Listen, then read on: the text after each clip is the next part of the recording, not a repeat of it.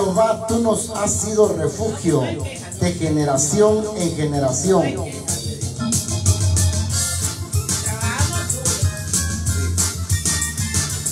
Estas son las palabras que encontramos en el Salmo 90, Temporada, del verso 1, temporada de trabajo. donde nos dice, oh Jehová, tú nos has sido refugio de generación en generación. Antes que naciesen los montes y se formase la tierra y el mundo, desde el siglo y hasta el siglo, tú eres Dios.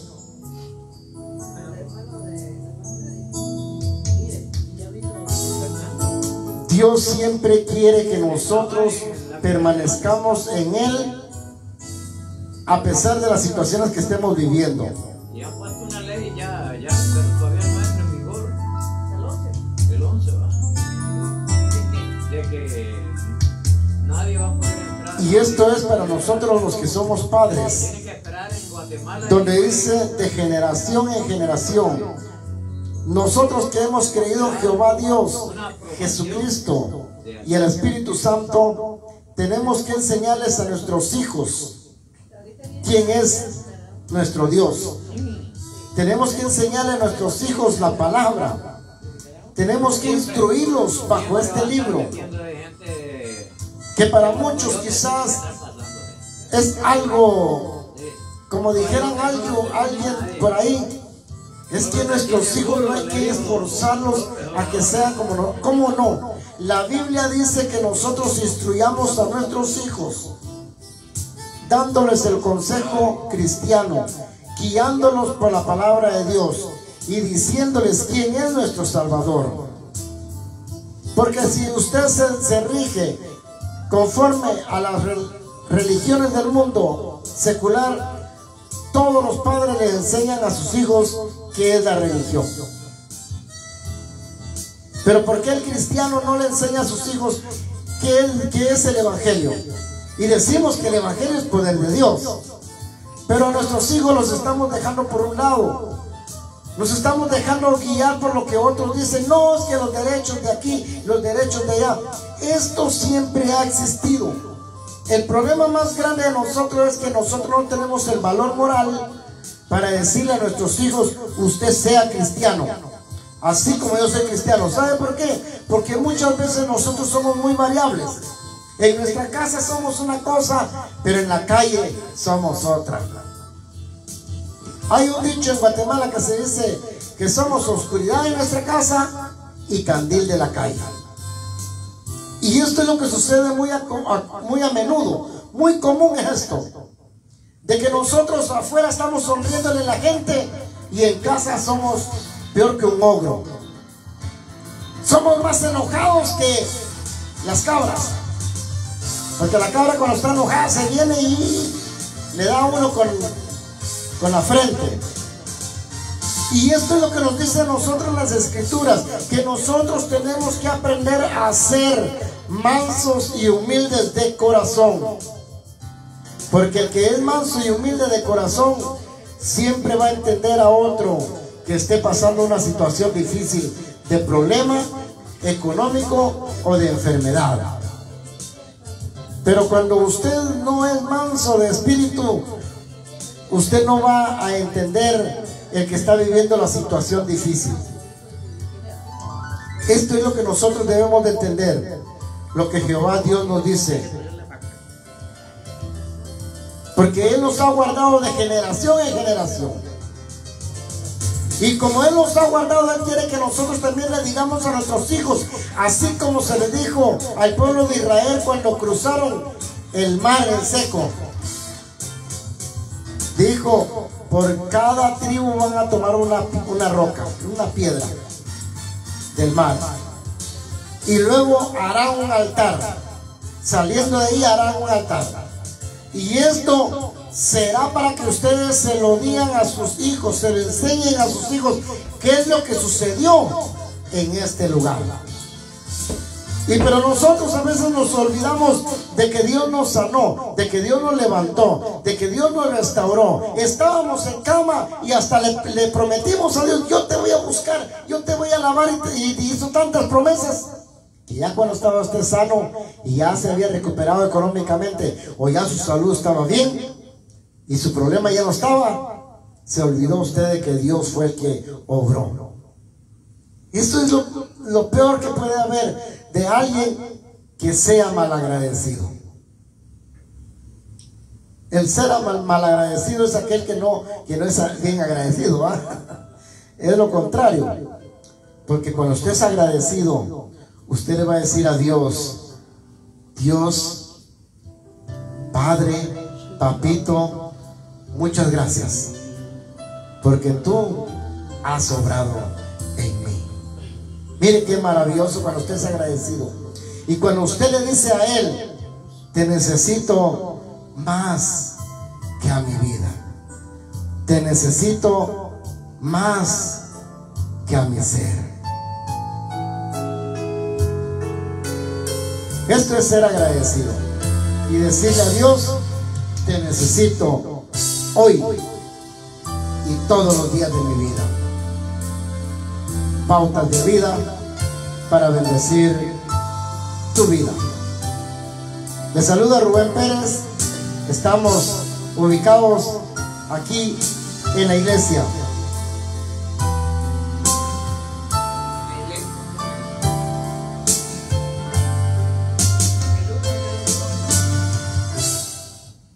Somos Iglesia Sangre de Jesús. Usted nos encuentra en el Oiga bien, escriba la dirección porque no se va a repetir otra vez. 101 East Holly Avenue, Sterling, Virginia. Ah, suite número 10 A y B. O B y ya. Una de dos. A y B. Así es que si usted desea ubicarlos, pues póngalo en su eh, guía por satélite, o como lo decimos nosotros más bien conocido en inglés, GPS. ¿Verdad? Esta es la guía por satélite. Así es que si usted desea acompañarnos, bienvenido, que esta también puede ser su casa de oración, donde nosotros vamos a congregarnos siempre para bendecir al que vive y permanece para siempre.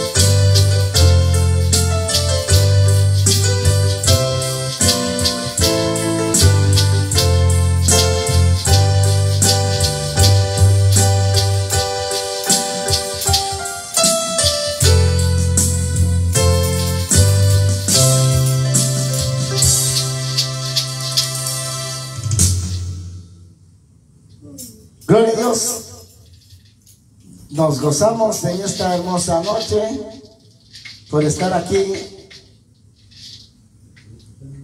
declarando que ha sido Dios, que ha sido Dios nuestro guardador. Y esto es lo maravilloso de que Dios nos ha dado esta oportunidad. Así es que nos vamos a gozar, nos vamos a alegrar. Dice, yo me gocé con los que me decían, a la casa de Jehová. Así es que dejamos a nuestra hermana Rosa Amelia Ruiz Marchena que nos dirija este hermoso servicio y nos vamos a gozar en la presencia del Todopoderoso. Gloria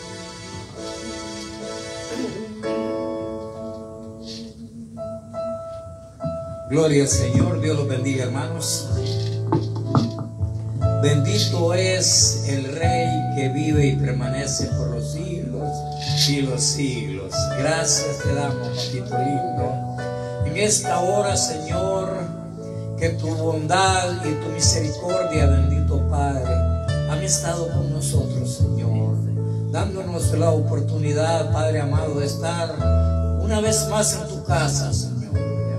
En este lugar, bendito Dios, que en este momento, Padre Santo, es casa de Dios y puerta del cielo, Señor.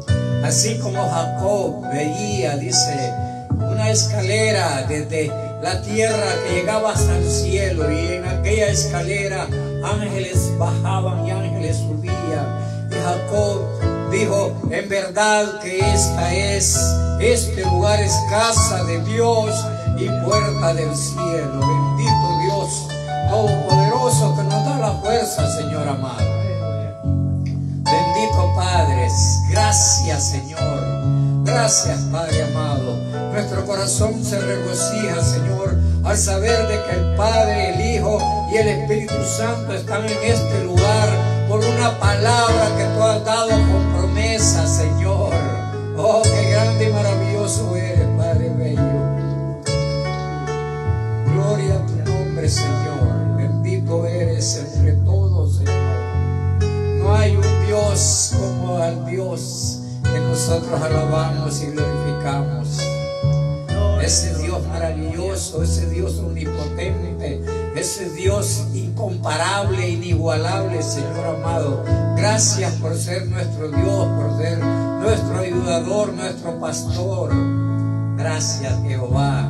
Gracias, bendito Señor. Yo te pido en el nombre de Jesús, Señor amado, que en esta noche, Señor, tu gloria, Padre, tu majestad, Señor, tu bendición, Padre Santo, derramada en este lugar, Padre bendito. Señor, tu palabra es de que donde dos o tres en tu nombre están, ahí estás tú, Padre. Unge, Señor, al varón, bendito Dios, que traerá, Señor, el consejo de la palabra, Padre Santo. Úngelo, Señor. Oh, sí, mi Dios, necesitamos para hablar de tus maravillas, Señor, para hablar, bendito Dios, de tu palabra, Señor, de tu verdad, Señor. Glorifícate, Señor, en esta noche, Padre Santo. Oh, glorifícate en cualquier lugar, Señor, donde hayan levantado un altar, Padre, bendito Dios, para alabar tu nombre, para glorificar tu nombre, Señor. Derrama, Padre, derrama de tu gloria, derrama de tu poder, de esa bendición nueva que preparaste para tus hijos en esta mañana, Señor amado. Oh, de ese aceite fresco, Padre bendito, esa, esa unción de sanidad, Padre Santo, en el nombre de Jesús. Declaramos, Señor, en tu nombre, Jesús amado, que esa unción de sanidad va a ser derramada en esta noche, Padre Santo, que va a alcanzar, Señor. Oh, sí, Padre bendito, porque cuando tu unción llega, Señor, invade, Padre Santo, no solo este lugar, Padre bendito. Tu palabra dice, Señor, que cuando aquella mujer que padecía del flujo de sangre tocó el manto, bendito Dios del maestro, al instante fue sanada. Y, aquella unción impactó también, Dios Todopoderoso, aquella niña que corrieron a decirle, ya no molestes al maestro, porque tu hija ha muerto. Pero la unción, Señor amado, había llegado ya a aquella casa también, Padre bendito. Señor, que tu unción, bendito Dios, en esta noche nos alcance, Padre Santo, y alcance a muchos. Aquellos que no por casualidad, sino que de parte de Dios están escuchando y van a escuchar, Señor, esta transmisión, Padre bendito, donde nosotros venimos, Señor, solo a hablar de ti, Padre, hablar de tu grandeza, de tus bondades, de tus maravillas, de tus favores, de tus milagros, Señor amado. Oh, glorifícate, Padre bendito. Bendícenos, Señor, a cada uno de nosotros, conforme a nuestras necesidades, Padre Santo, conforme a tu voluntad, Señor amado. Glorifícate en cada uno de los que estamos aquí y los que vendrán, Señor, de los que ven en el camino, de cada uno de aquellos, Padre bendito, que también, Señor, en diferentes lugares, en diferentes ciudades, países, Señor amado, escuchan, Señor, esta transmisión, Padre bendito. Derrama bendición, Señor. Bendice nuestras familias, bendice nuestros, nuestras naciones, Padre Santo, porque vemos, Señor, pocos aquí, bendito Dios, pero es, es, es una maravilla, Señor. Oh, gloria a tu nombre, Padre Santo.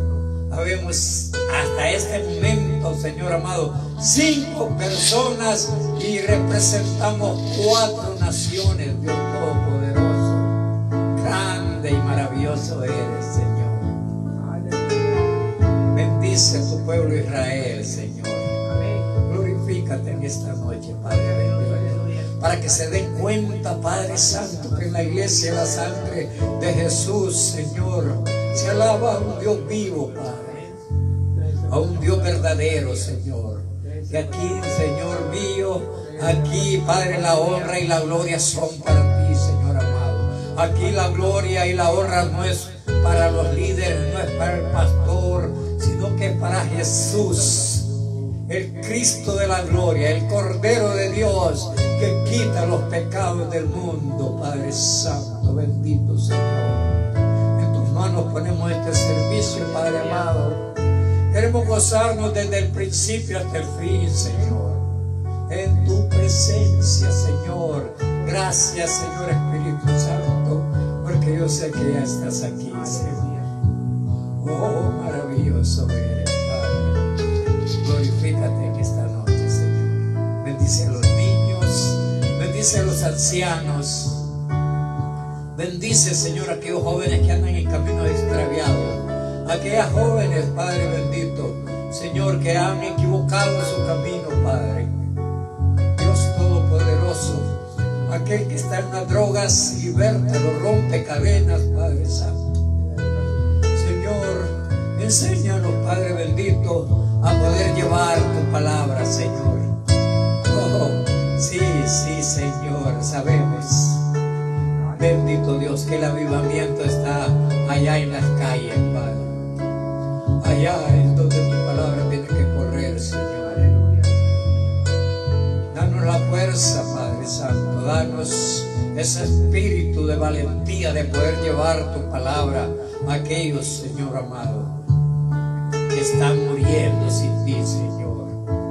Aquellos que están perdidos, Padre Santo. Oh, gloria a tu nombre, Señor. Que tu ángel acampe, Señor, alrededor, Padre aman y de los que te temen, Señor. Gracias, mi Dios. Gracias, papito lindo. Y el pueblo del Señor dice, amén, gloria a Dios.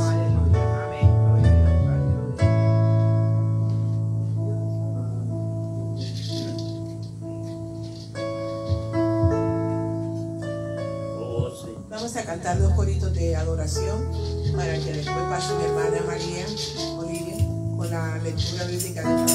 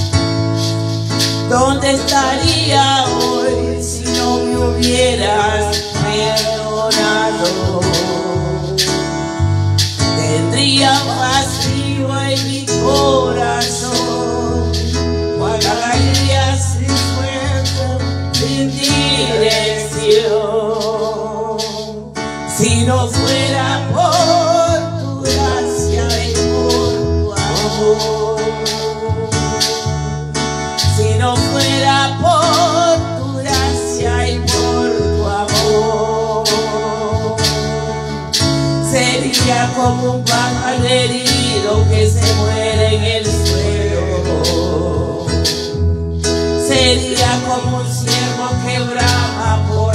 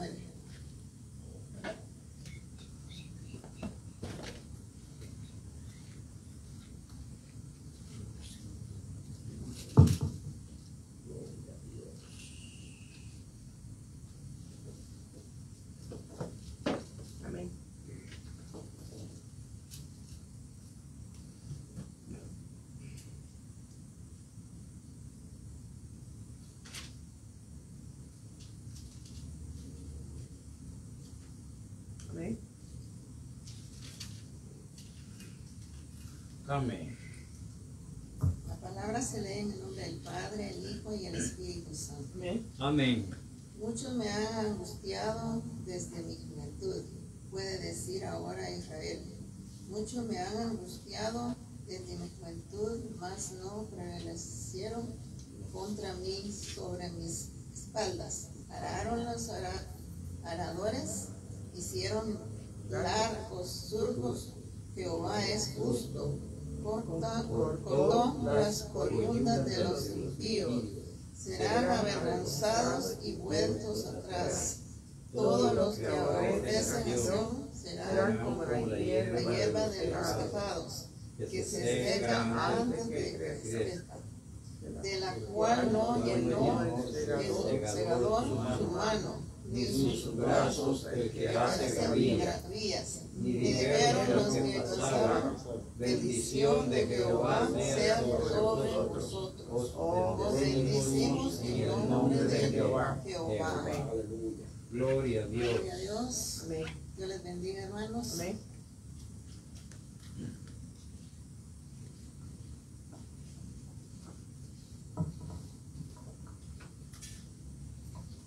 Sigamos cantando al Señor Jesús. La gloria de Jehová cayó en el Sinaí y aquel monte temblaba porque Dios estaba ahí. La gloria de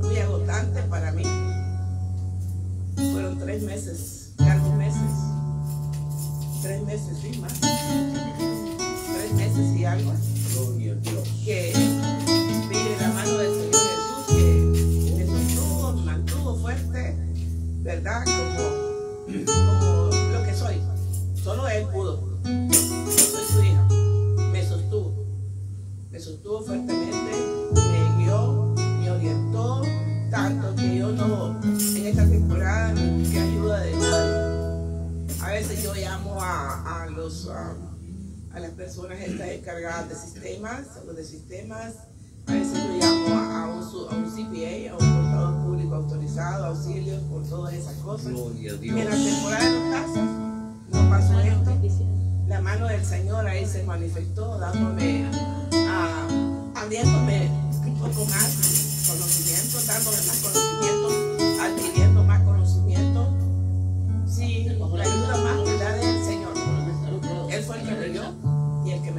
fortaleza, porque sí, yo no pensé que, lo iba, que este año lo iba a hacer.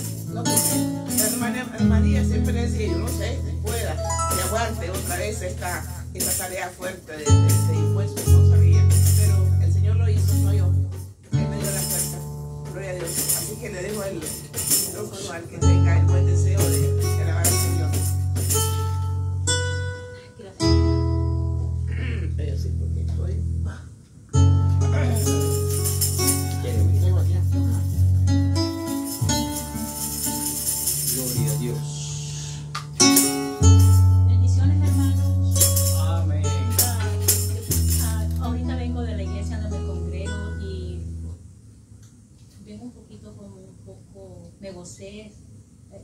Señor estuvo, se manifestó en gran manera, algo tan tremendo y poderoso.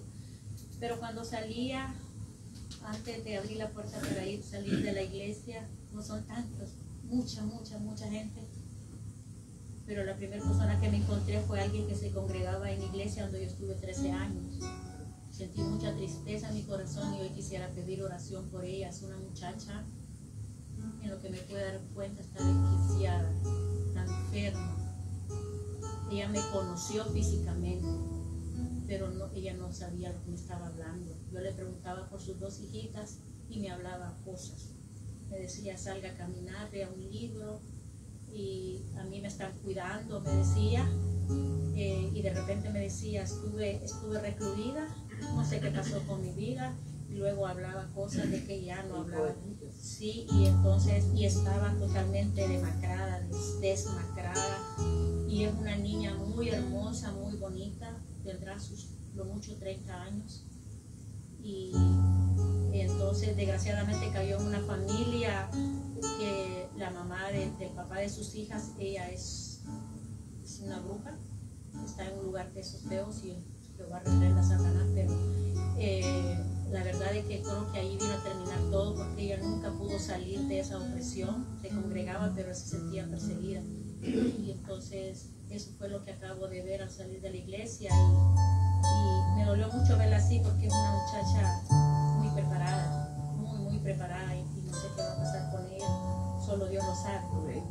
Así que vamos a una lectura, hermanos, eh, una lectura tan poderosa que Ser dos lecturas porque ambas tienen que ver.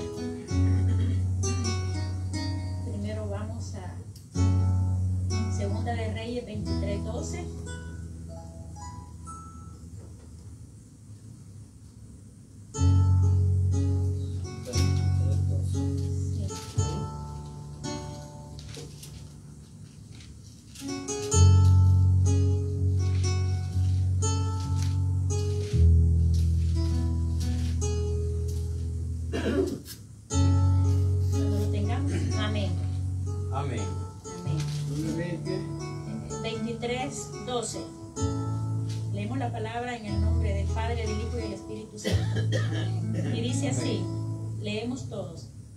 Derribó además el rey los, los altares que estaban sobre la azotea de las alas de Acaz, que los reyes de Judá habían hecho, y los altares que había hecho Manasés en los dos atrios de la casa de Jehová.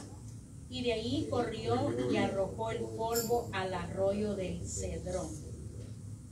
Ahora eh, le vamos a segunda de Crónicas 15, 16. Por favor.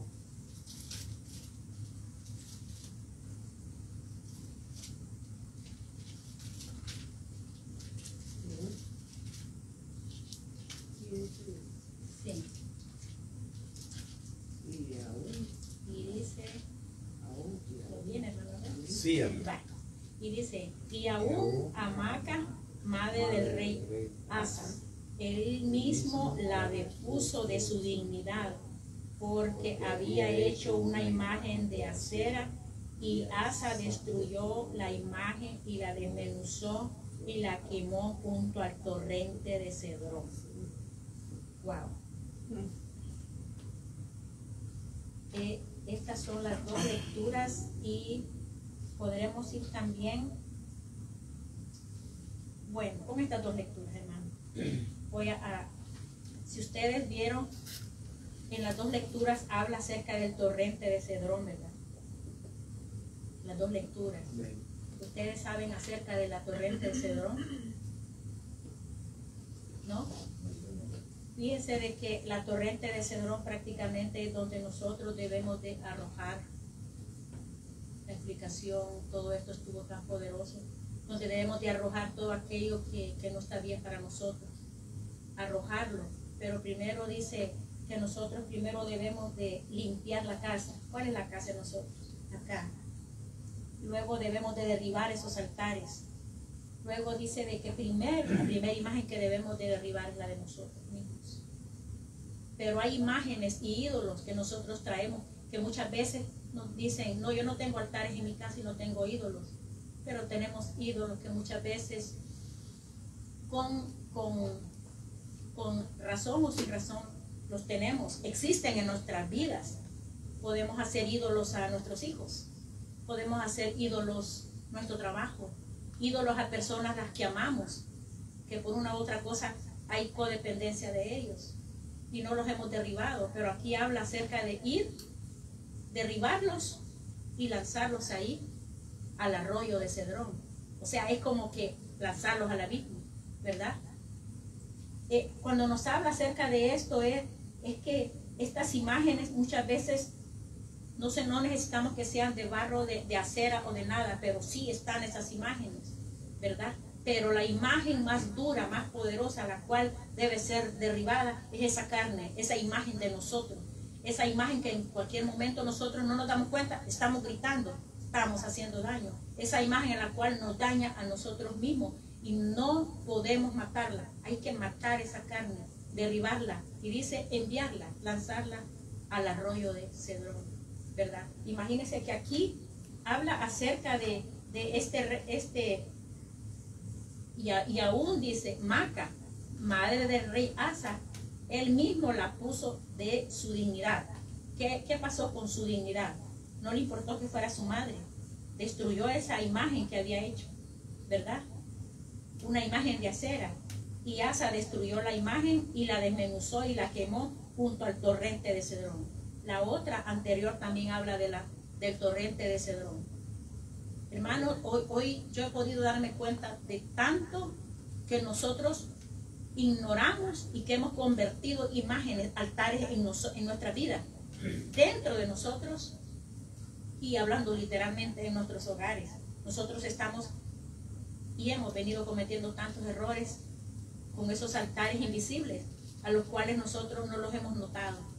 Y yo quería decirles esto porque realmente eso me redarguyó mucho a mí y, y, y a manera de poder derribar ese altar, esa imagen de mí, o sea, el yo que siempre va adelante, mi imagen, o sea, si supieran quién soy yo, usted porque no sabe quién soy yo, estamos hablando en la carne, estamos hablando eh, enalteciéndonos nosotros, ¿verdad? Así es que la palabra, yo quería leerles estas dos lecturas porque realmente son tan poderosas y hay mucho de qué hablar. Tengo dos páginas escritas y más lecturas sobre esto, pero realmente estas eran unas de las cuales hablaba acerca del arroyo y todas tienen que ver con el arroyo, porque hay cuatro lecturas. Habla de Juan también, habla de Joel, y realmente eh, eh, es tan poderoso, hermanos. Yo quería traer estas lecturas y hablarles acerca de ellas, que realmente existe un lugar, ese abismo donde nosotros podemos, ¿verdad? Podemos nosotros lanzar todo aquello que ocupe un lugar que no le pertenece. Porque si nosotros ponemos en ese altar a Cristo, ahí sí estamos caminando bien si estamos poniendo en primer lugar a Cristo, ahí es ese altar que debe, ese altar que lo podemos llevar a todos lados. Y ese altar es el que nos va a llenar siempre. Porque por más altares que tengamos, ídolos que tengamos, siempre hay un vacío. No hay nada que lo llene. Pero Cristo es la, eh, Cristo es mi llenura. Cristo es mi todo. Si nosotros siempre vamos a vivir en Cristo, siempre seremos nuevas criaturas. Pero si no es así, no van a pasar esas cosas viejas, como dice, las cosas viejas pasaron y todas son hechas nuevas. Es mentira, no han pasado. Siguen siendo viejas si nosotros no derribamos esos altares, ¿verdad? Así que, hermanos, quise leer esto. Es tan tremendo, es tan, tan tremendo y poderoso que yo le digo que quizás mañana yo siga con estas lecturas porque realmente están poderosas y, y, gracias, hermanos, por permitirme compartir esto. Bendiciones, hermanos.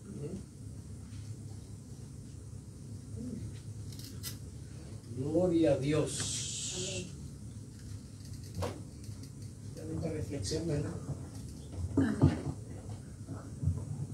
Muy bonita la, reflexión de la, de la lectura. Amén. Gloria a Dios. Dios bendiga mi hermana por esas reflexiones que, que siempre comparte con nosotros. Ah, mi hermana María no tiene nada hoy. Hermano Reyes. Reyes Cardonas. Vamos a leer un bien precioso. Hermano Reyes, yo siempre me he preguntado si Reyes es su apellido o es su nombre. No, Nombre. Ah. Cardona es el apellido. Ah, Cardona el apellido. ah, Es que en mis tiempos, según como le ponían el nombre de. Se iban al. al almanaque. Y ese nombre que traía ahí. Reyes. Sí. Yo no sé porque, bueno, di- dice ahí, parece que dice de los santos reyes. Y Epifanía, Epifanía del Señor, y no sé qué decía ahí. Yo lo he leído. Ahí. Gloria a Dios. Dios los bendiga más, hermano. Quiero leer el Salmo 138 y dice así. Por eso es la razón, hermanos, de que cuando venimos aquí a la casa de Dios, mire, mire cómo dice este salmo, oiga bien cómo dice este salmo. Te alabaré con todo mi corazón.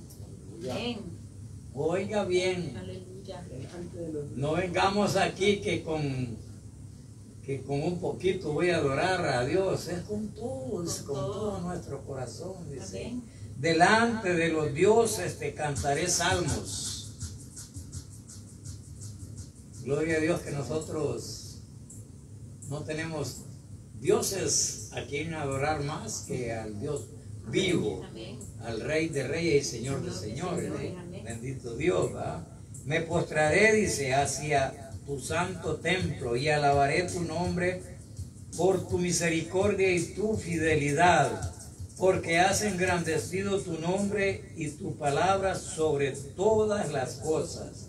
Oiga bien, hermano, mire, dice, el día que clamé me respondiste, me fortaleciste con vigor en mi alma. El día que clamé me respondiste. Qué grande y maravilloso es presentarnos delante de Jehová y clamar ante su presencia. Muchas veces decimos, ¿a dónde está? Pero dice, el salmista dice que él alababa con todo su corazón. Cuando le alabamos con todo nuestro corazón, Señor, Así es, amén. tiende a respondernos. ¿verdad? Qué bello es el Dios que. Por esa es la razón, dice que te alabarán, dice, oiga bien, oh Jehová, todos los reyes de la tierra, porque han oído los dichos de tu boca y cantarán de los caminos de Jehová, porque la gloria de Jehová es grande, porque Jehová es excelso y atiende al humilde, mas al altivo mira de lejos. Pero me impresionaba, hermanos, que dice, el día que clamé me respondiste, me fortaleciste con vigor en mi alma. Lo necesario, es, Sí es, amén. lo necesario es clamar delante de Dios. Y clamar por cosas netamente positivas, hermano, es. No vamos, a- no vamos a ir a clamar ahí por un palacio aquí en la tierra. No, clamemos por nuestros hijos. Amén. Clamemos por nuestra familia que todavía no han sido alcanzadas por el Señor. Esa debería ser nuestro clamor. Clamemos por ser mejor cada día nosotros. Por derribar, como decía la hermana, los altares que muchas veces los tenemos ante nuestros ojos, nuestros propios ojos, ¿verdad? Porque mire, muchas veces nosotros hablamos de la palabra, pero nos, como dijo, somos oidores de la palabra, pero no hacedores de la palabra. Sí. Gloria a Dios. Hermano Rubén, quiero cantar esta alabanza que dice, quiero levantar a ti mis manos, maravilloso Jesús. Quiero levantar. Y este, y este salmo también es alabanza. Sí, es alabanza. Se alabarán, no, Jehová, todos los reyes.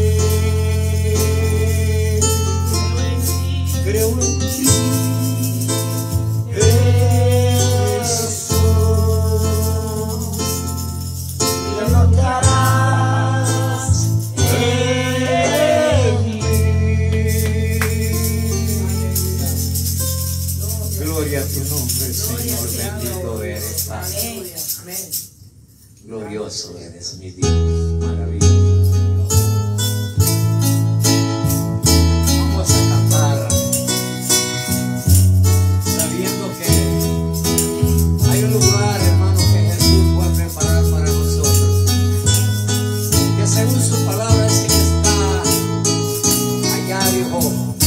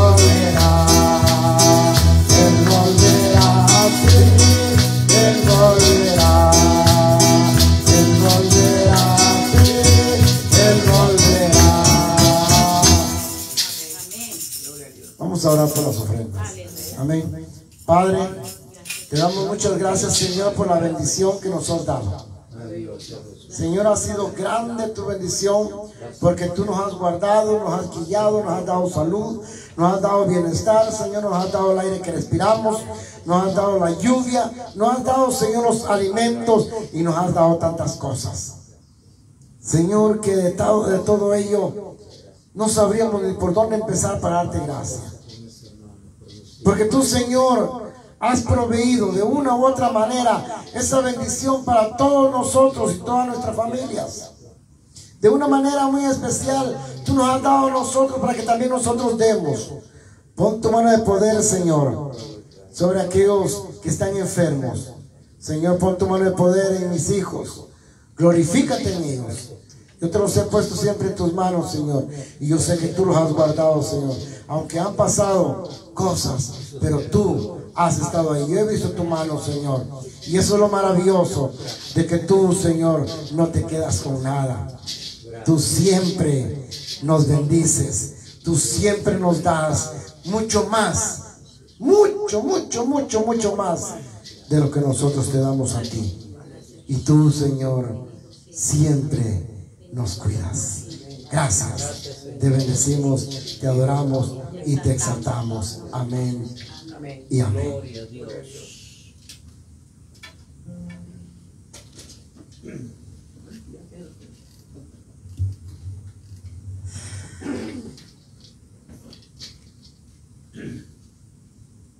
Qué bendición cuando nosotros podemos eh, entender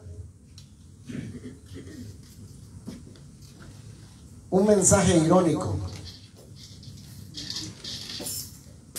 Pero también podemos entender cuando hay un mensaje emotivo. También podemos entender cuando hay las famosas indirectas. También podemos entender las directas.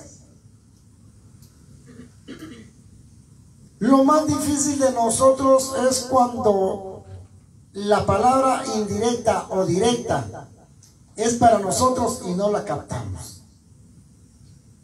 Y no le voy a decir que, que es raro, no, a veces nosotros no hemos escuchado la famosa indirecta. O no hemos entendido cuando es para nosotros. ¿Sabe cuándo sucede esto? Cuando usted sabe que aquello que están diciendo no tiene nada que ver con usted. Entonces pueden estar hablando tanto y tanto y tanto, pero no, no es lo que están hablando de usted. Pero qué bonito cuando la palabra de Dios la leemos y nos está hablando a nosotros. La palabra de Dios, oiga bien, ahí cuando usted busque y busque y busque, ahí no hay indirectas. La palabra de Dios es certera. Amén. Amén. Como lo dice en el libro de Corintios, ¿verdad? Bienvenidos. Dios les bendiga, hermanos. Como dice en el libro de Corintios, que la palabra viene directamente para endulzar el oído del que necesita amor. Pero también la palabra de Dios viene para aquel oído de aquel que está pasando en problemas.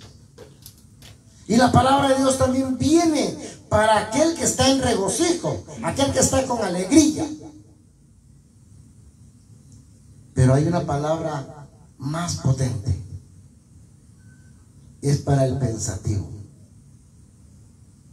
En el libro de Cantares habla acerca del que es pensativo.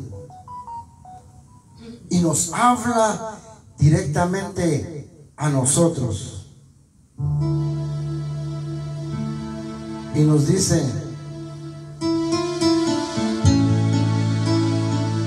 que seamos más dulces que la miel.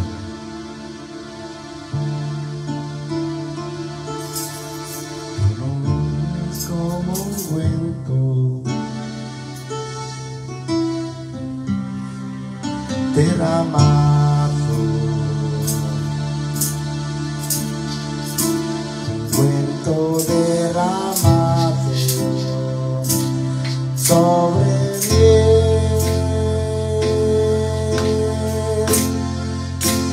mí. Jesús,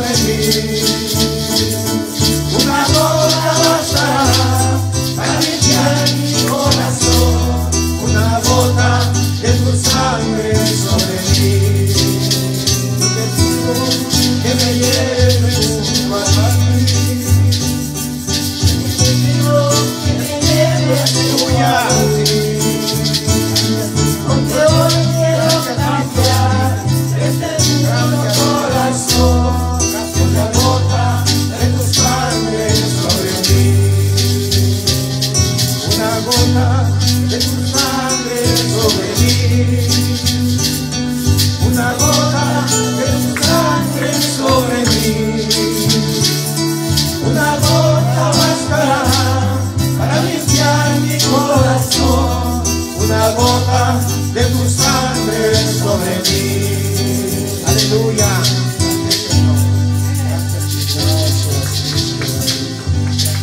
Eu sei que estás aqui, Senhor, Senhor. Recebo em minha alabança. Aleluia. Eu sei que estás aqui.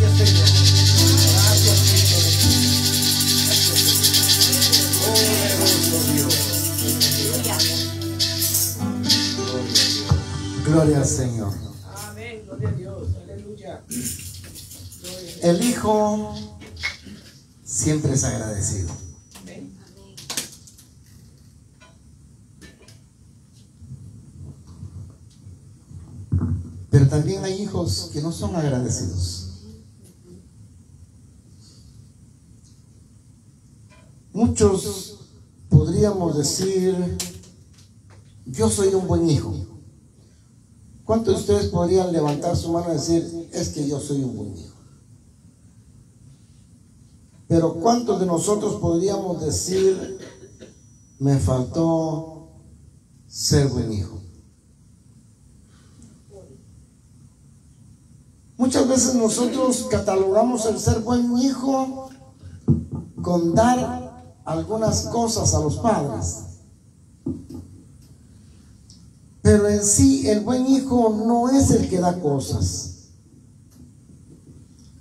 Porque entonces nosotros nos ganaríamos el cielo. Oiga bien, es una palabra muy común decir el cielo, ¿ah? pero llamémosle la gloria o un lugar especial allá como lo que dice en el libro de Juan 14. Porque si fuera así, entonces no aparecería en la escritura que ninguno es salvo por obras. No estaría en la Biblia. Porque el ser buen hijo, usted podría llevarle a su papá después de que lo golpeó. Oiga bien. Después que lo golpeó, regalarle un bonito carro. Regalarle lo que tanto ha anhelado. Quizás regalarle hasta una casa bonita.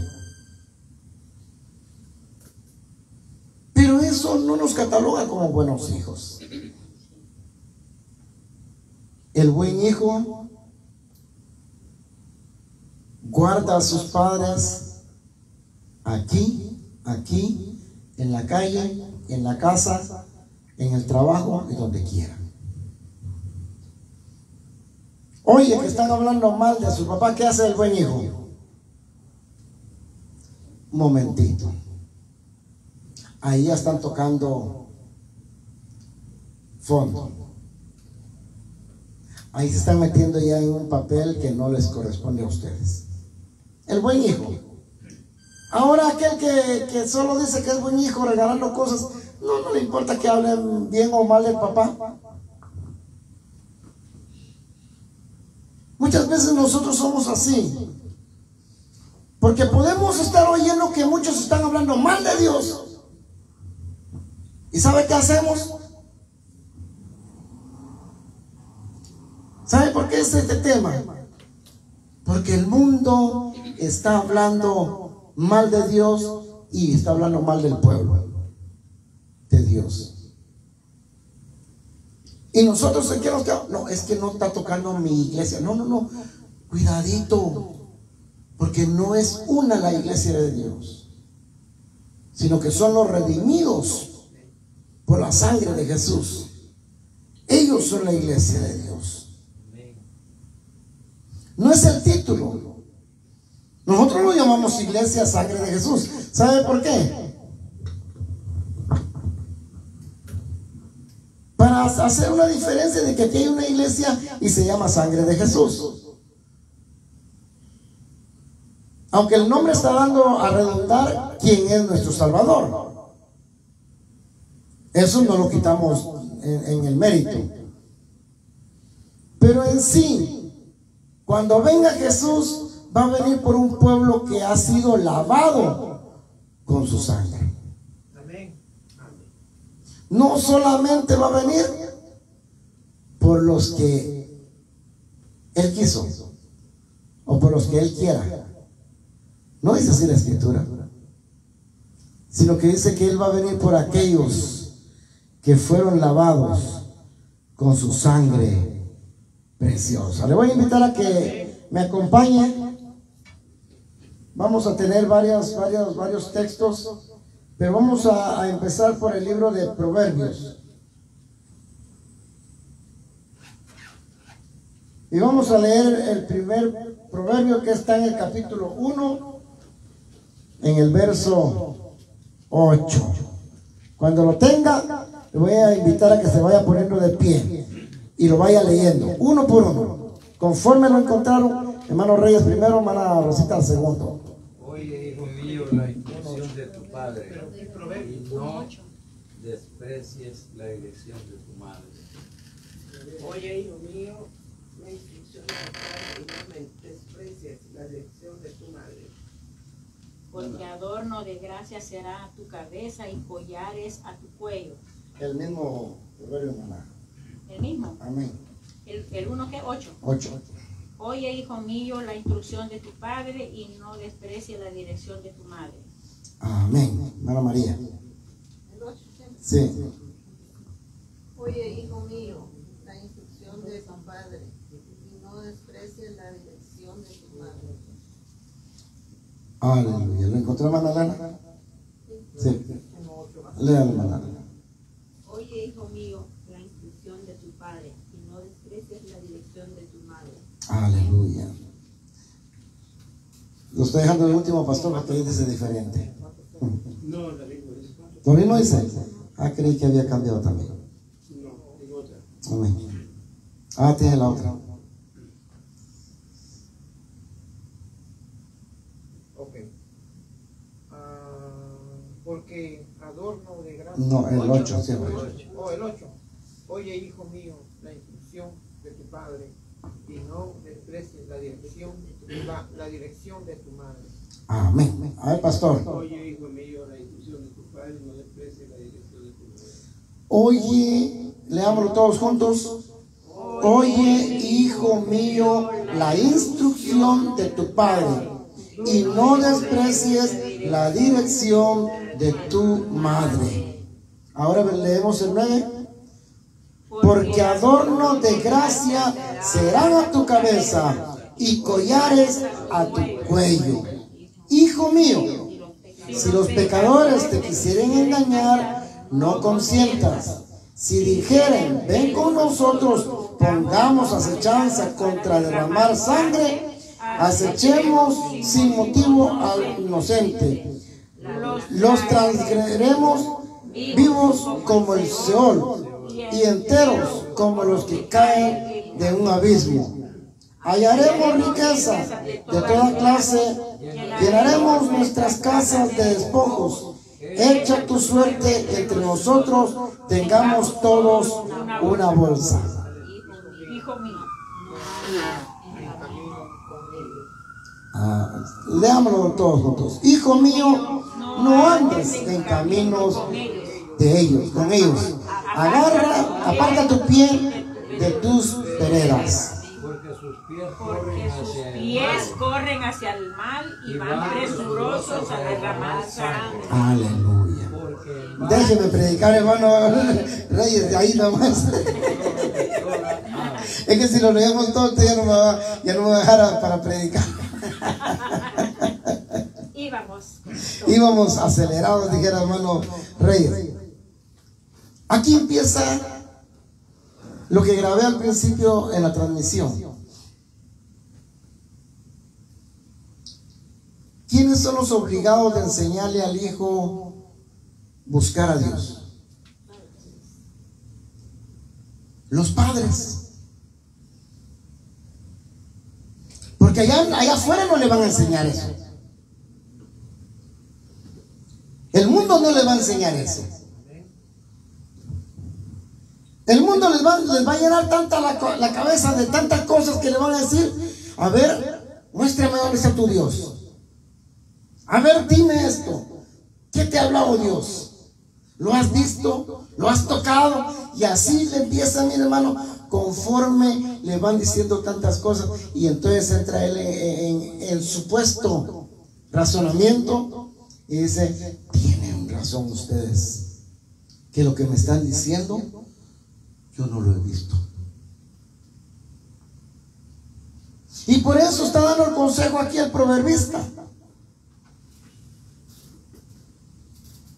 Pero cuando dice, oye, hijo mío, está hablando directamente de que tiene que escuchar lo que el papá ya escuchó del papá también. El padre que le dice al hijo, nunca vaya a tomar un vicio porque los vicios no lo llevan a uno nada bueno. Eso me lo dijo mi papá.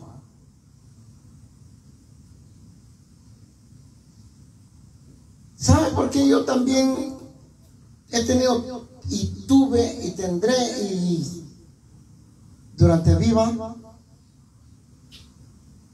el nunca querer probar algo de un vicio?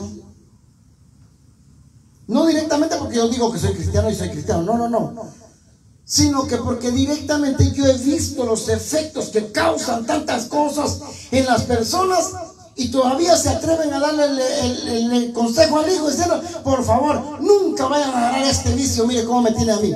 ¿Y por qué no se detiene? ¿Y por qué no se para? ¿Y por qué no dice, hasta aquí? A veces nosotros decimos, no, es que no es tan fácil. Es fácil. ¿Sabe qué es lo que sucede? Que ya nos emocionamos a sentir los efectos. Como decía pastor aquel día, ¿verdad? Que cuando yo estaba así, yo lo que, en lugar de quitármela, volví otra vez. Y esto es lo que sucede. ¿Sabe por qué? Porque hay, un- hay una emoción. Nosotros no lo vemos. Eso no es alegría, eso no es gozo, es una emoción que los efectos que están agarrando el cuerpo de todo lo que usted le está metiendo, le está llamando a que siempre siga consumiendo lo mismo una y otra y otra vez. Es como la persona que, que después de, trabajar 8, 10, 12 horas, tiene que manejar. Y muchos se acostumbran a agarrarse una taza de café y un poquito de soda. No le voy a decir marca, no estamos promocionando a nadie porque no nos han pagado.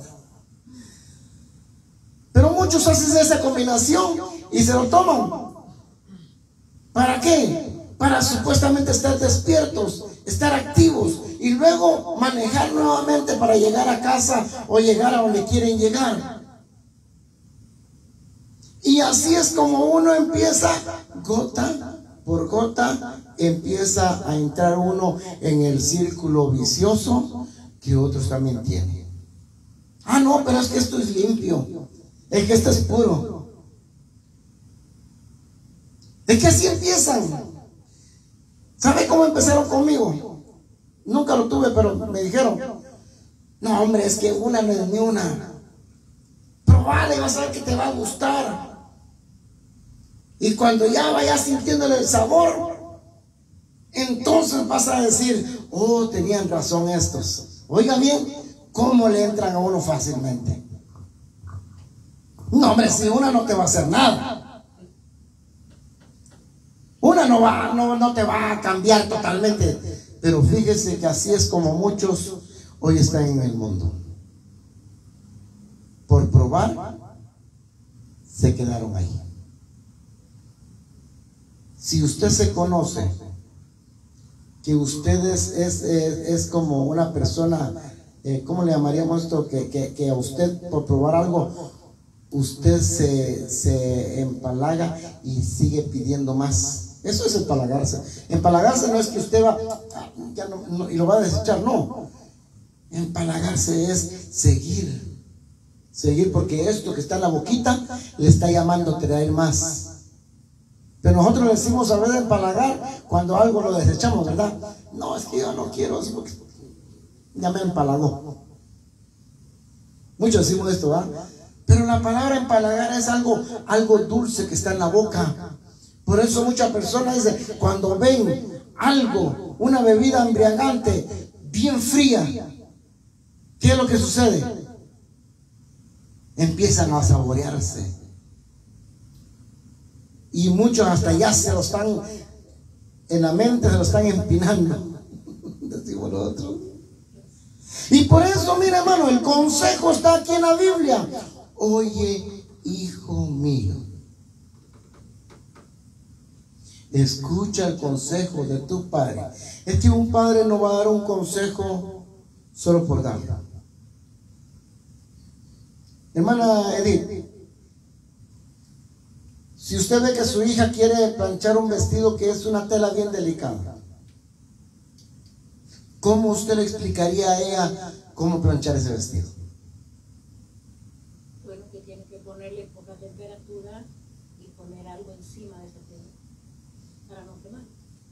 Y esto se llama consejo. ¿Por qué? Porque no solo va a haber ese tipo de tela una vez, sino que también van a haber otras telas. Entonces se le dice, mire aquí en, esta planchadora que usted tiene, aquí dice tela de nylon. Aquí dice tela, tela de, ¿cuál es la otra? La de rayón, le llaman, rayón, no sé qué sea, ¿verdad? Rayón. Y, y luego dice algodón. Y luego, ¿cuál otra hermana? El, el jeans, ¿cómo que le llaman? Este, ¿Cómo? Jersey. Ahí usted lo va a ir encontrando en la misma planchadora. Entonces usted le viene y le explica a su hija cómo hacerlo. Bueno, también a su hijo, porque hay muchos hijos que, que planchan su ropa. Y así sucesivamente. O en el caso de comidas. En este país el hombre ha tenido que ingeniárselas para aprender a cocinar. Y la mayoría de cocineros en Estados Unidos, usted sabe que son hombres, ¿verdad? Pero en nuestros países todavía está aquella mentalidad de que no, es que la cocina es para la mujer. Y esto es lo que nos dice la Biblia. Que tengamos cuidado, porque mira, aquí nos empezó a dar una, una lista tremenda de consejos de que a lo que nuestro hijo está en peligro de aprender en la calle. Lo primero son los grupitos de amigos. Que le van a decir, vayamos a tal parte, hagamos esto. Empiezan con cosas chiquitas, hermano. Es como todo, empiezan con cosas pequeñitas. Pero ya después habla aquí de una bolsa, ¿verdad? Llenemos las bolsas y llenemos nuestra casa de puros despojos. Pero lo que no le dicen al muchacho, al joven, al mancebo, es, pero también corres el peligro de que te quiten la vida. Eso no se lo dicen. ¿Verdad que no se lo dicen? ¿Por qué? Porque según ellos están seguros de que lo que van a hacer va a ser un éxito.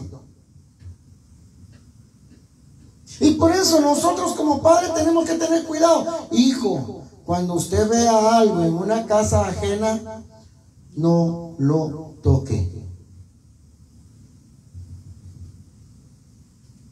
Porque mire, hermano, la tentación es grande. Y por eso al pecado se le llama tentación. Porque casualmente lo que a usted le gusta, se lo va a poner enfrente. Y esto no nos está diciendo a nosotros que nos alejemos de la verdad. No, hermano. Si nosotros podemos ver el pecado ahí. ¿Y cómo es el consejo que da la Biblia? El sabio ve el mal y se aparta. No está diciendo apártese de su hijo que es malo. No, no, no. No está diciendo apártese del vecino que es malo. No.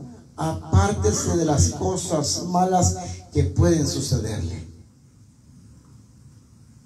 Usted al vecino lo puede tener con, con- con amistad buena.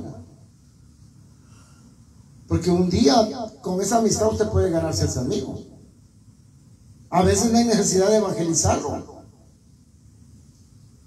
Sino que con nuestras acciones la gente va, va viendo y dice, oh, este es cristiano. Oh, este es aquí, este es allá, este viene de una buena familia. ¿Por qué dicen así? Porque conocen a la familia.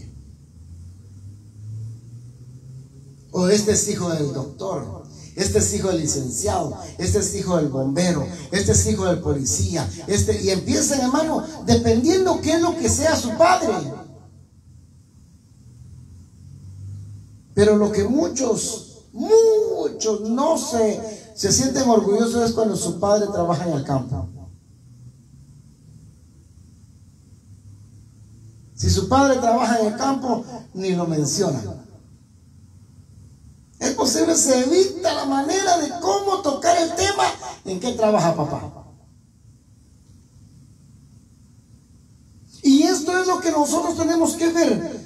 ¿En qué posición estamos nosotros? La Biblia no nos dice, hijo, un consejo para ti. Dale a tu hijo todo lo que él quiera. Porque tú no lo tuviste en tu vida, entonces dáselo a él. No, solo dice la Biblia. Dice el consejo a tiempo salva al joven.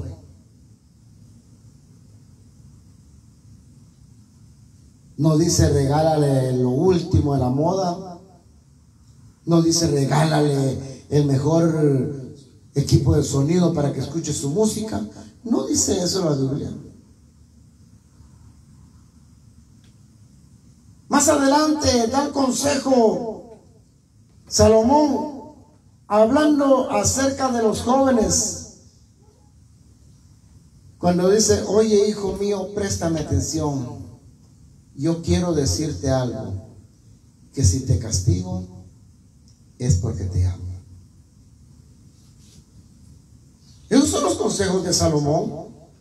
Él no está diciendo ahí, ah, cuando tengan al hijo, péguenle hasta cuando vean que hasta sacando sangre. No es eso. Solo dice, porque la vara es para la espalda, para la espalda del necio. Eso es lo que dice la Biblia. Eso es lo que dice el proverbista. Vamos a, a Proverbios capítulo 4, verso 10. Ayúdame a leerlo para que podamos estar en acorde. 4.10. 4.10. Lo leemos todos juntos para poder entender el consejo. Vamos todos. Oye, hijo mío, y recibe mis razones, y se te multiplicarán años de vida. Oiga, oiga, oiga bien lo que dice el papá, el, el verso 11. ¿Cómo dice el papá? Por el camino de la sabiduría te he encaminado y por veredas derechas te he hecho andar. Cuando anduvieres, no se estrecharán tus pasos y si corrieres, no tropezarás. Retén el consejo, no lo dejes, guárdalo, porque eso es... Ah, mire qué maravilloso. Pero ¿a quién le fue dado el consejo primero? Al Padre. Porque el papá escuchó consejo, llegó a viejo. Ese dicho es muy común, ¿va? Que el que no oye consejos no llega a viejo. Y esto es lo que está diciendo el- el padre al hijo. Oye, hijo mío, que si haces esto y le llamas a la sabiduría que esté contigo y se le dices a la inteligencia que te acompañe, eso te será honra a tu cabeza. Leamos el verso 9. Regresemos un poquito. Adorno de gracia dará tu cabeza, corona de hermosura te entregará. Oiga, oiga hermano, ¿a quién no le gustaría esto? Nosotros como adultos, como viejos, como padres de familia, abuelos, bisabuelos y todo lo que usted quiera. ¿No nos llenaría a nosotros de orgullo el recibir esto? A mí sí. Y me llena de orgullo cuando, cuando me llaman mis hijos y dicen, y empiezan a contarme todo lo, lo que han logrado. Pero cuando llama el, el hijo que siempre está en problemas, ¿qué siente usted? Que le dan ganas hasta de colgar el teléfono, ¿verdad? Y espera el momento para hablar. Porque hay hijos que no dejan hablar al papá. Y esto es lo que nos da el consejo aquí. Oiga bien, empecemos el verso 6, o el 5. Todos juntos. Adquiere sabiduría, adquiere inteligencia. No te olvides ni te apartes de las razones de mi boca. ¿Quién da este consejo? El Padre. No la dejes y ella te guardará. Ámala y te conservará. Sabiduría ante todo, adquiere sabiduría. Y sobre todas tus posesiones, adquiere. Ah, miren hermano. No está hablando aquí de que, de que la riqueza se te suba a la cabeza. O que el dinero se te suba a la cabeza. O que el carro se te suba a la cabeza. La moto te- se te suba a la cabeza. No, esto nos está diciendo a nosotros que con todas estas cosas seamos siempre los mismos. Porque el que es sabio escucha el consejo. Y el que es sabio lo pone por obra. Pero el que no es sabio escucha el consejo y lo desecha. Así sencillamente. Es como que viniera alguien a darle un consejo al hermano Yuri, mire, para, para que usted desarme este aparato así, tiene que hacer solamente este paso.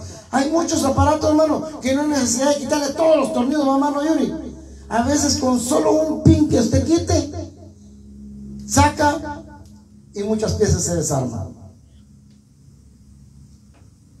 Y esto es lo que nosotros tenemos que entender. Cuando hay alguien que ya pasó por este proceso, es porque alguien también le dijo, no lo hagas así.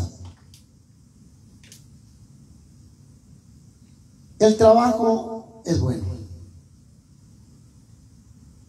Dice que el trabajo honra a la persona. Pero también depende cuánta honra usted está recibiendo del trabajo, porque hay muchos, o habemos, me voy a incluir, habemos muchos que lo que trabajamos no lo sabemos invertir. Lo que trabajamos, lo que ganamos, luego se lo damos a fulano, sultano, mengano, y no sabemos ni para qué les lo dimos. ¿Por qué? Porque como fue fácil el ganarnos el dinero, ¿verdad? No, nos cuesta. Pero como ya, ya tenemos un poquito aquí, no hallamos ni cómo gastar. Entonces buscamos a ver quién, quién quiere. Hay una palabra en Guatemala que se dice quinquilete, ¿cómo quinquilete? y el otro contesta yo machete. Está diciendo quién quiere. ¿verdad? ¿Quién quiere? ¿Quién quiere? Entonces cuando el otro contesta yo machete, quiere decir yo. Mire. Entonces esto sucede muchas veces. Porque cuando usted tiene lleno su granero, ¿qué es lo, que, lo primero que piensa? Se lo voy a hablar al estilo de Israel. ¿Qué es lo que usted primero piensa? No. Al estilo Israel, piensa en el convite. Así lo dice la Biblia. ¿Y qué es el convite? Es la fiesta. La fiesta de los granos. Cuando usted tiene bastante, no haya ni qué hacer con todo eso. Y por eso fue el consejo cuando estaba José allá en Egipto. Se le fue dicho, José, tienes que hacer esto porque vienen siete años de exceso de alimento. Pero después van a venir siete años de escasez total. Así es que haz graneros grandes, pero grandes, en todas las comarcas. Envía alguaciles, envía a gente que ellos puedan guardar todo eso en esas bodegas. Y mire, si aquel hombre hubiera oído el consejo de Dios le dicho, sí señor, al rato lo hago. Pero mire, de esos sabios es que quiere Dios. Porque muchas veces nosotros oímos el consejo y no le hacemos caso. ¿Sabe por qué? ¿Quiere que le diga una razón por qué muchas veces no ponemos atención al consejo? Porque nos, nos fijamos quién nos está dando el consejo. ¿Y este quién es? No lo conozco yo, pues. No es hijo de... Y empezamos, ¿verdad? Me dé un consejo a alguien que tiene, oiga bien, que me dé consejo a alguien que tiene. Alguien que ha recibido y no ha sabido guardar. Pero muchas veces nosotros nos estamos fijando quién es el que nos está dando el consejo y lo desechamos. Eso se llama orgullo. Por eso cuando alguien venga y le dé el consejo que tal vez usted no necesita, póngale atención. Póngale atención. Porque dice la escritura que el consejo nunca llega tarde. El consejo siempre llega antes. ¿Por qué? Porque el que lo está dando ya pasó por ahí. El que está dando el consejo ya le dolió. Recibió golpes. Recibió tantas maledicencias de la gente. Y no quiere que otro pase por lo mismo. Y eso lo he hecho yo también. Porque muchas veces en nuestro trabajo nos topamos con tantas cosas y hay errores que a nosotros nos cuestan golpes. Es como el que trabaja en el campo, aquí. O es como el que trabaja en la construcción. O es como el que trabaja en la mecánica. O es como el que trabaja haciendo planos. O es como el que trabaja como doctor o licenciado. O también aquel que trabaja como, como secretarios o secretarias. Tenemos que tener cuidado porque, mire, todos nos hemos equivocado. Yo he pasado también por ser secretario. En mi país también hacía lo mismo que hacía mi hermana Rosa, solo que allá es diferente. Ya le contaba yo a ella. Pero aquí es diferente también. Pero quiere decir que todo tiene que tener un control. Porque cuando usted lleva un cifrado en orden, cuando usted suma, todo le va a salir bien. Pero si usted es de los que, que colocan eh, una cifra de siete números, Oiga bien, cuando usted coloca la cifra de siete números y viene a colocar una de tres números, pero empieza también por el mismo lado, le puso lo de los siete números, ¿qué cree que le va a suceder ahí? Le va a salir una cantidad extremadamente grande.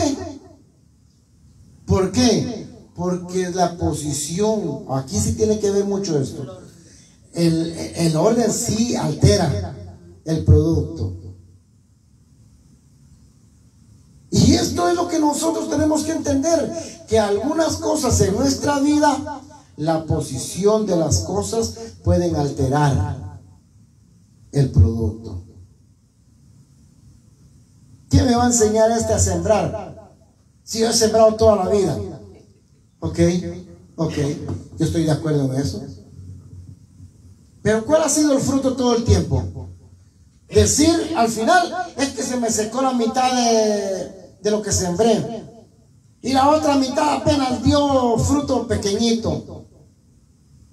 Entonces quiere decir que aunque tenga 40, 50 años haciendo lo mismo, siempre va a recibir el mismo producto. Pero no hay como cuando viene alguien experimentado y le dice, no hombre, haga esto. Le voy a dar un secreto. ¿A cuánto nos ha pasado eso? Le voy a dar un secreto, ¿cómo lo hago yo? Yo lo hago así, así, así. Y cuando usted va viendo que esto en verdad funciona, lo tiene que seguir haciendo, pero hay algo más importante. Para que esto le siga funcionando, usted tiene que dar también ese mismo consejo a otro. Porque el día que a usted se le olvide hacer lo que lo aconsejaron, va a venir el otro, hey, se te olvidó hacer esto. Qué bonito, ¿va? Cuando se acerca alguien y le dice, hey, se te olvidó hacer esto. Aquí con el pastor se me ha pasado varias cosas, y no ibas a hacer aquello. Oh, sí, le digo, empezamos a desarmar lo que, lo que ya hemos hecho. Porque a cualquiera se le pasa algo. Y este consejo nos lo da el proverbista. De que tenemos que, agarrar todo lo que es sabiduría para nosotros, para no dejar que nuestros hijos caigan en manos de perversos. Proverbios 23, 19, vamos a Proverbios. Y este, este, este verso yo quiero que ustedes lo lean fuerte. Amén.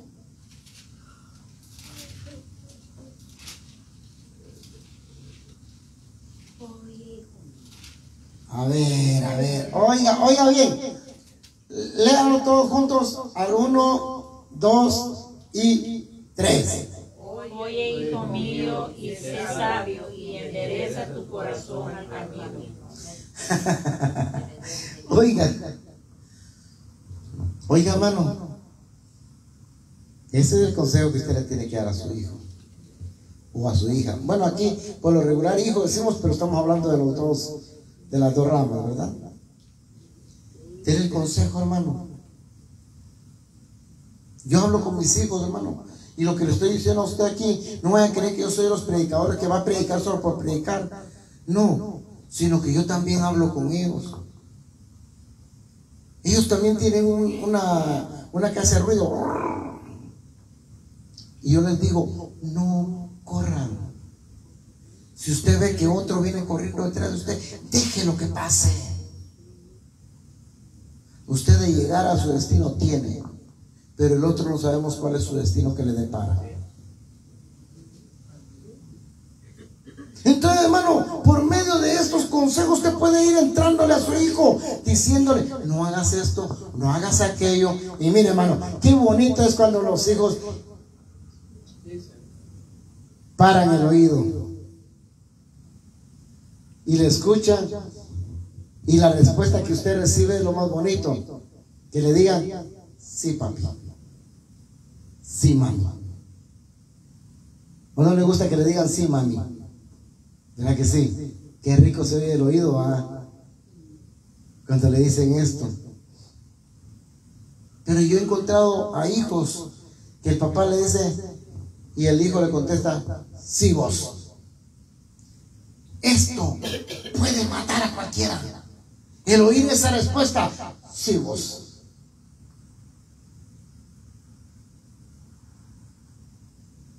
A veces decimos que, que hay ciertas culturas, pero yo he leído todos los libros de todos los países acerca de la educación que se da en cada país. Y oiga bien lo que yo leo en, en los libros. Dice, cuando usted, oiga bien, cuando usted trate a una persona adulta, siempre trátela de usted. ¿Y cómo lo tratan a usted de otros países? Vos. ¿Y los libros no enseñan eso? Sí, pero aquí se acostumbra a eso. Pero es que nosotros no somos del montón. Esa es la diferencia que nosotros tenemos que tener. Que nosotros no somos del montón. Nosotros siempre somos y decimos que, ah, es que yo soy original. No, porque le estamos copiando a otros siempre. Entonces no es original. Y la originalidad siempre va a salir a redundar. Cuando usted es original, siempre se va a echar a ver. Aún con la forma de expresarse, ¿qué dicen la gente? Este es cristiano. ¿No dice así? O aún con su forma de vestirse, este es cristiano. O aún con su forma de el recorte de su cabello, este es cristiano. Pero imagínense que vean al hermano Rubén bien peluqueadito, pero aquí atrás con una tremenda.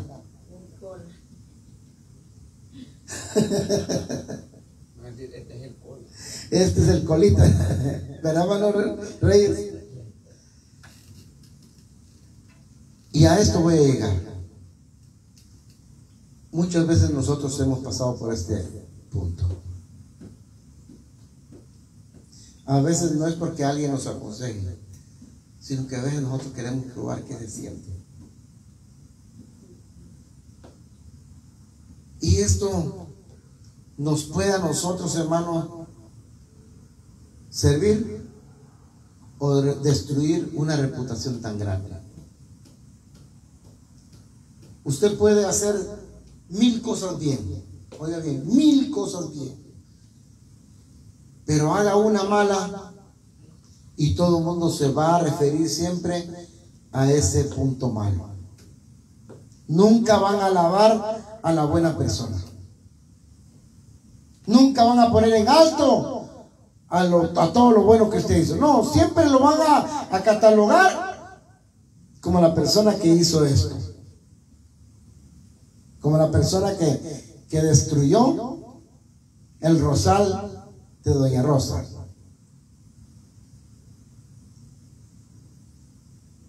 Y quizás usted lo hizo por accidente. Porque muchas veces en bicicleta a mí me, tocó muchas cosas. En mi juventud, pues ahora ya, no, ya ni bicicleta monto. no.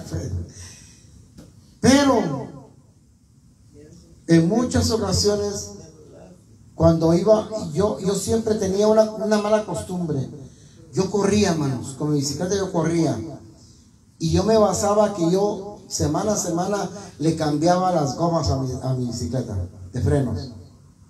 Es como la persona que trabaja, eh, que anda un carro y que a cada cierto tiempo le cambia las pastillas de frenos.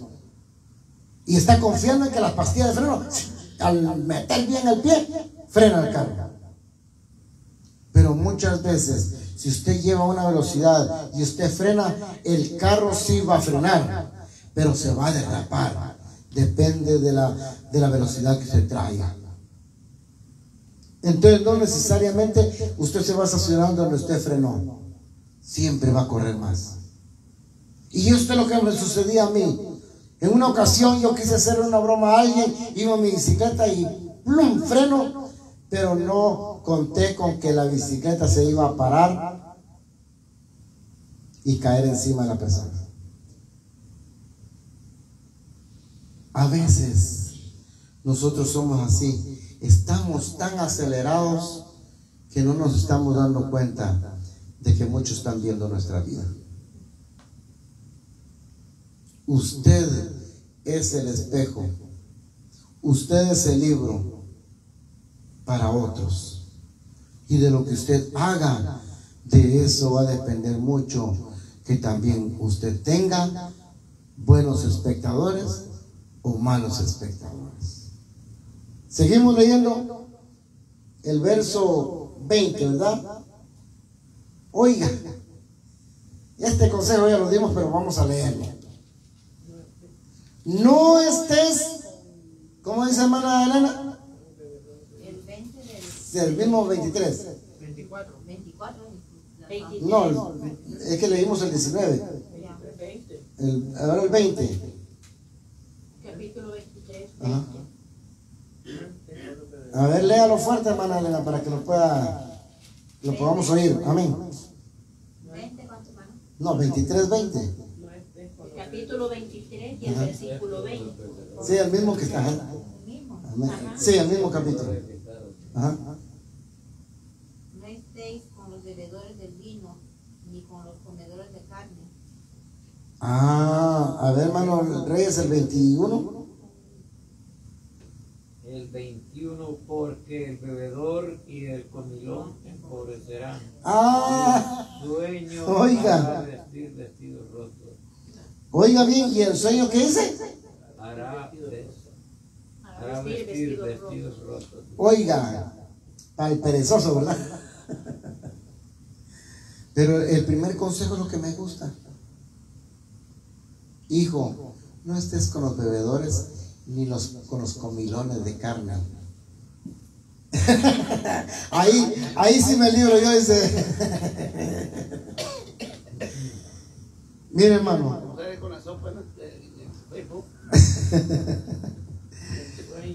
Porque, porque, oiga bien, porque el que quiere afamarse con algo, lo va a lograr un momento, pero luego se va a quedar pobre. Y dígame usted que no va a voltear a ver. Cuando usted ya no tiene para, para hacer los convites, cuando usted ya no tiene para, para llamar a los amigos, y decirle, vengan, que hoy hay carne asada, que ya, ya van a ver que ya usted ya lo llama, no se le van a acercar por, por nada. No van a ser aquellos que van a traer la bandeja. ¡Ey! Y quiero tener nada hoy, aquí te traemos. ¿Qué amigo va a ser este? Si la mayoría solo lo que quieren es recibir. Y por eso no estés con los bebedores, porque el que es bebedor, ¿sabe qué es lo que va buscando? Su billetera. Porque usted es el que siempre invita, usted es el que siempre paga. Y por eso el consejo está aquí. No estés con los bebedores ni con los comilones de carne. Ay, ay, ay. Es que mire, hermano.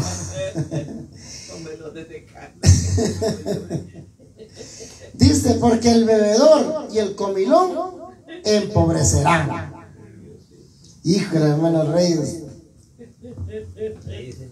Si usted quiere invitar a 20 personas, hermano Reyes, a comer un- una churrasqueada, ¿será que gasta 10 dólares ahí? O una sopa. ¿Será que va a gastar 10 dólares, 15 dolaritos, 20, 30? Más de 100, oiga bien. Un día me fui de valiente yo con un amigo. Y me dice, yo voy a comprar carne. Ah, pues yo compro los chorizos, le dije. Ay, hermano.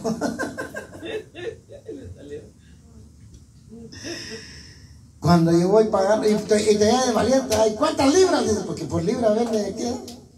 Tanto le digo, ok, ay, la pesaron y la amarraron la bolsa. y Aquí está.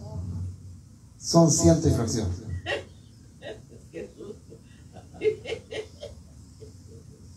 Uf, Dije yo, esta, esta comida se me va a salir cara. Y fíjese que el que llevó carne gastó menos que yo. Es que uno se la lleva de valiente, es lo que estamos hablando de aquí. Es el consejo que hay aquí. Oiga bien, porque a veces nosotros nos sentamos con aquellos, pero no preguntamos, ah, ¿y qué tan, qué tan bebedor es aquel? ¿Verdad que nunca preguntamos? No, sino que al contrario, se sientan en la mesa y viene aquel y se toma una, dos y tres cajas. Cagas. Y aquel nunca cae ni dobla. Por eso, por eso dice que el que está con los bebedores y está con los comilones de carne, empobrecerá. ¿Por qué? Porque aquellos solo quieren para adentro y para adentro y para adentro. Pero el consejo es, hermano, es para usted que es padre de familia y también para que se rodee a sus hijos. Va a andar así. Y esto es, esto es lo tremendo, hermanos.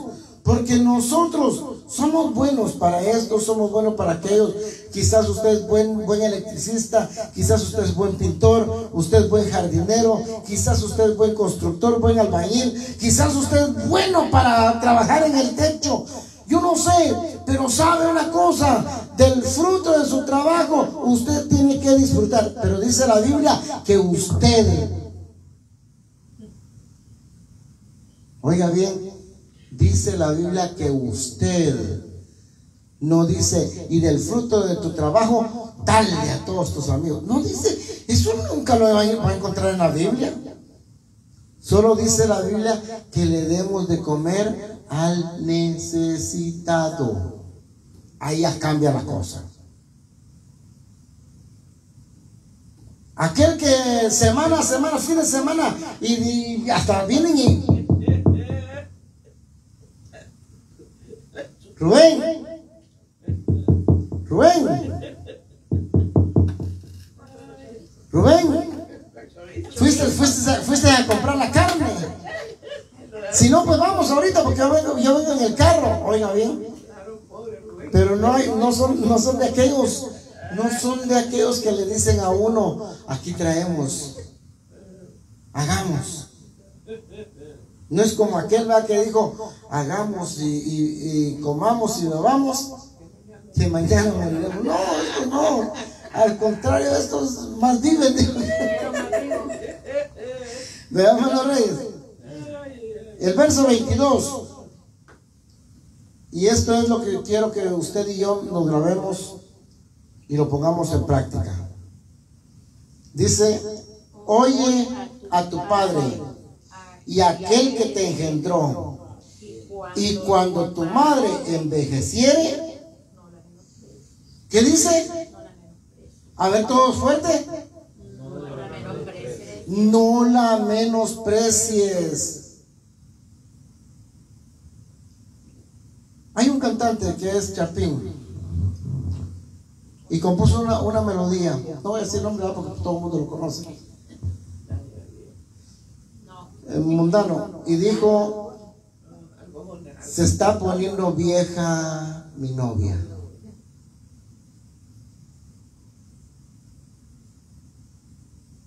Y él lo dice con, con- con gran valor moral, porque para él han sido primero los padres. Hermano, el recibir yo un mensaje de mi mamá, a mí me alegra, porque lo primero que dice, no, mi hijo, me- mejor coma usted bien, que nosotros aquí miramos cómo. El pastor oyó que vez que dijo, "Ah, no, papá, no, no, no, no, no, no, se moleste. Aquí nosotros miramos cómo. Entonces digo, no, eso ya está allá. y esto es, hermanos, porque miren, mírenlo, mírenlo en el lado que usted quiera. El bendecir a sus padres lo bendicen a usted de una manera muy especial. Y no es porque me lo hayan contado, sino que lo estamos viviendo. Y el que un padre le dé una bendición a usted es lo que sucedió en el tiempo de Jacob y Esaú. Acordémonos de esa bendición. Cuando llegó aquel varón y, ya habían bendecido a sus hermanos, Padre, aquí te traigo el guiso que a ti te gusta. Y le dijo, ¿cuál guiso? Ya me lo diste. No, papá, yo acabo de venir. Ah, entonces tu hermano te ganó. Y la bendición que era para él, la agarró el hermano. ¿Y sabe qué le dijo el, hijo todavía? El buen hijo. Y no te quedó una poquita de bendición. No te quedó algo del rescoltito de lo que le diste aquel otro. Ay, mi hijo. Ay, mi hijo. ¿Y cuál fue el consejo? ¿Cuál fue la bendición? Vas a ser bendecido vas a prosperar, vas a tener esto, pero siempre serás esclavo de tu hermano.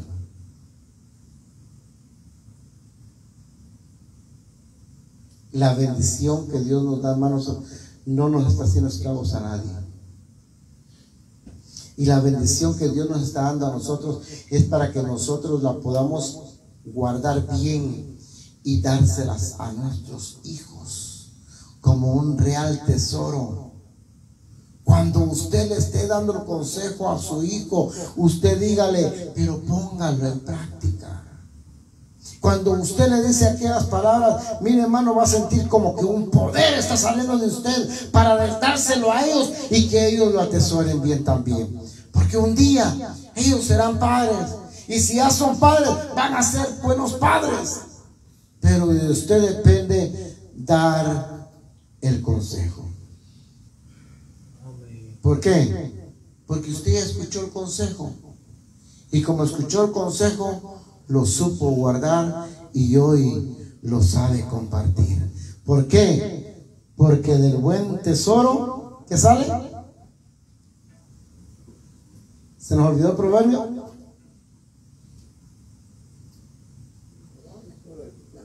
Ah, ahí está, bien, ya vieron.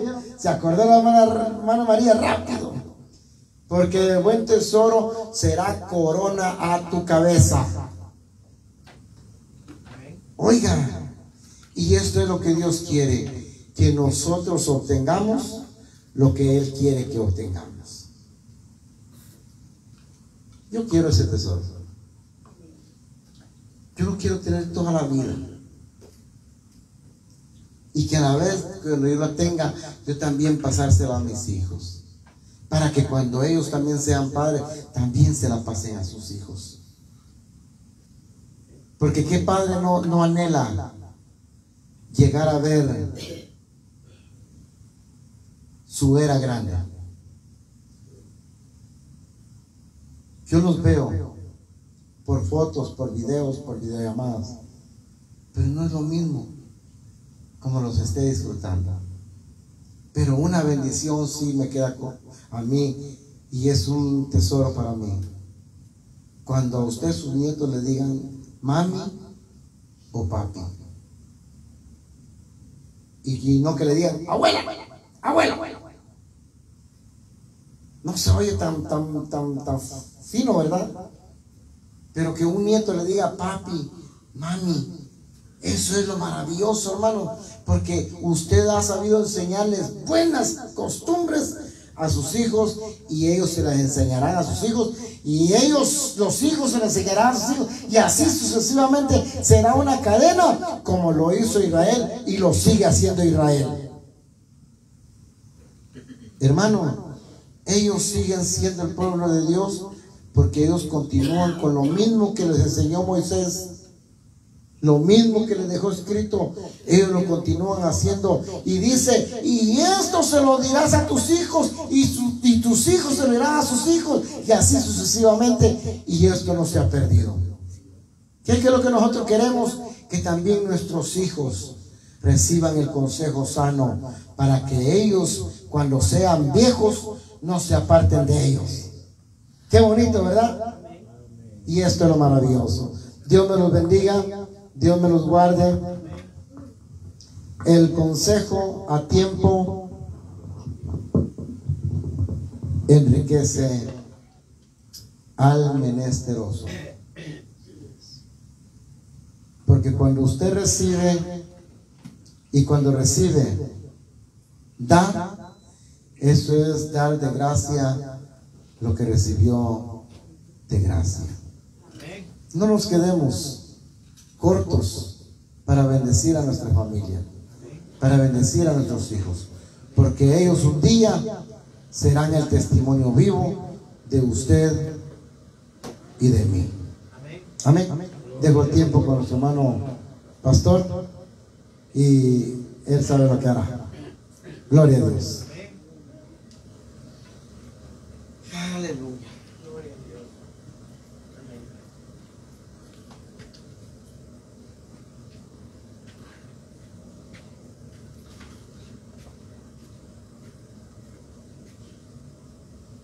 hermanos. Bueno, bienaventurado el que recibió los consejos. Pero parece que nosotros no los recibimos. Y los aprendimos ya viejos. Pero nunca es tarde. Amén.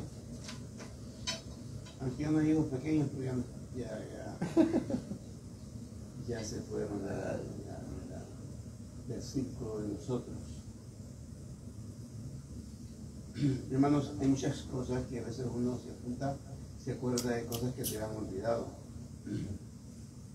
Yo estaba buscando la agenda 2030. Ya le cambiaron muchas cosas, las nuevas que estaba leyendo ahorita en internet la cambiaron. Ya no la pueden tan, tan así como la primera que sacaron en el, en el año 22, a los principios.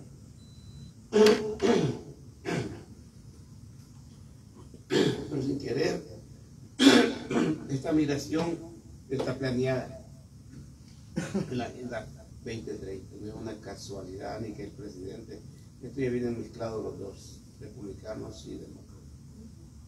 Siempre tienen que salir gritando, pero esto es, un plan mundial. A veces este, nosotros estamos, digo nosotros, porque todos estamos en el mismo barco, y el que no lo esté, pues, gloria a Dios. Si usted se da cuenta, la cantidad de millones que hay, estaba pensando esta, esta mañana o esta madrugada, no sé qué, hora era. ¿Quién va a ser el primer, millon- el primer millonario del- de, de- las, personas del mundo que va a llegar a tener el trillón? Yo creo que están en apuesta esta gente. Yo voy a ser el primer trillonario, van a decir, de, de- de toda la humanidad, porque antes un billón nadie lo tenía. Empezaron a ver los billones. Entonces, pero cuando el, el anticristo tome posesión, todo el dinero va a ser quemado, no servir de nada. Yo siempre me acuerdo de una historia que no se cuenta, que la mamá andaba con carretas comprando tomates y cebollas en el mercado con la carreta de, de Córdoba, que no valían, la habían descontinuado. Se perdió toda la plata, porque la cambiaron de la noche a la mañana. Entonces, nosotros, sabiendo muchas cosas, y las seguimos haciendo. Aquí entra el consejo. No es para el niño, es para nosotros. Porque el niño ve lo que nosotros deseamos de cuando están pequeños. Ese es el consejo que ven ellos. No es como aquel que decía no tomé porque esto es malo y tomando y tomando, ¿ah? No se puede. Tenemos que empezar a, meditar, como dice la canción, ¿qué sería de mí si no te hubiera alcanzado? Así es la canción, ¿verdad? Si no lo alcanzamos al Señor, ¿qué será de nosotros? Y esto es lo mejor que les puedo contar. No le voy a leer la Agenda 2030, sino que le voy a leer una visión que la tuve en el 20, 21, esas se las dije porque yo siempre se las leo a ustedes, pero la volví a encontrar. Estaba orando esta madrugada y estaba orando porque lo que estaba pasando en la nación, porque estaban exigiendo la vacuna, le decía el Señor, traer un, traer un caos, aquí la falta de productos, como ha, como, ha- como ha habido, como, como ha sido hecho en Cuba, Venezuela, Nicaragua y otros países, de la noche a la mañana desapareció todo, como Venezuela. Y aquí, ¿se acuerdan cuando se- se- se- se- la leche no había leche para los niños? Y los estantes de papel, no había papel, ¿se acuerdan? Aquí en Estados Unidos. Y le pregunté, ¿por el COVID? ¿O de quién? Y vio, y vi una visión otra. Y vi una multitud vestida de ropa blanca, pero, pero bien blanca. Y estaba, y estaba viendo, y de repente dos de las personas voltean a verme, me parecían conocidos. No sé si eran de cine o políticos, pero sus caras eran negras y le pregunto a Dios, ¿quiénes son? Y me acosté. Si es de tú, si es de ti, dímelo, que lo recuerde. Después amanecí a las 6 y 49 y me acordé que le dije al, al Espíritu Santo, ¿quiénes son esos dos? Y vino a mi mente, Satanás y el anticristo. Ya están caminando.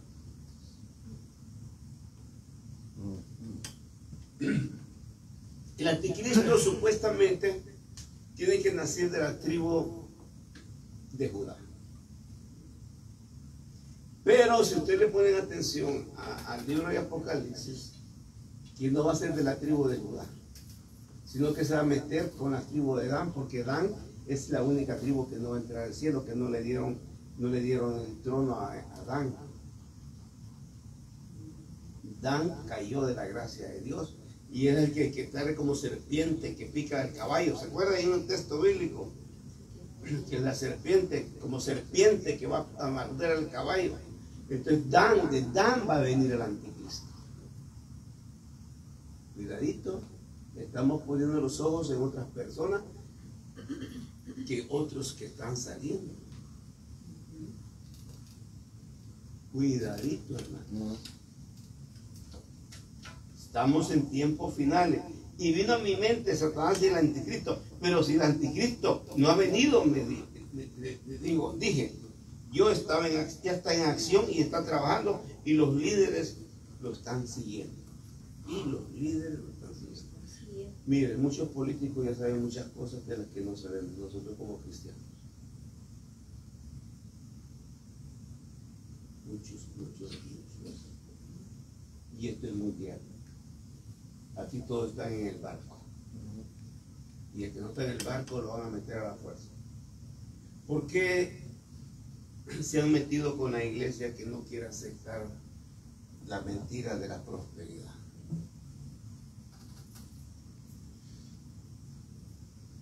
Porque con la prosperidad cualquiera caído. Cualquiera cae con la prosperidad. ¿Por qué Dios no quiere hacernos millonarios a nosotros? Voy a poner generalizado. Porque sabe que vamos a cambiar. Ya usted no va a ser mi amiga, ni mi hermana cercana, no que usted se hubiera a buscar otra gente de su clase. Había, en El Salvador salió los alcohólicos anónimos cuando estaba chavalo, salió un doctor, un abogado que era bien famoso, era alcohólico.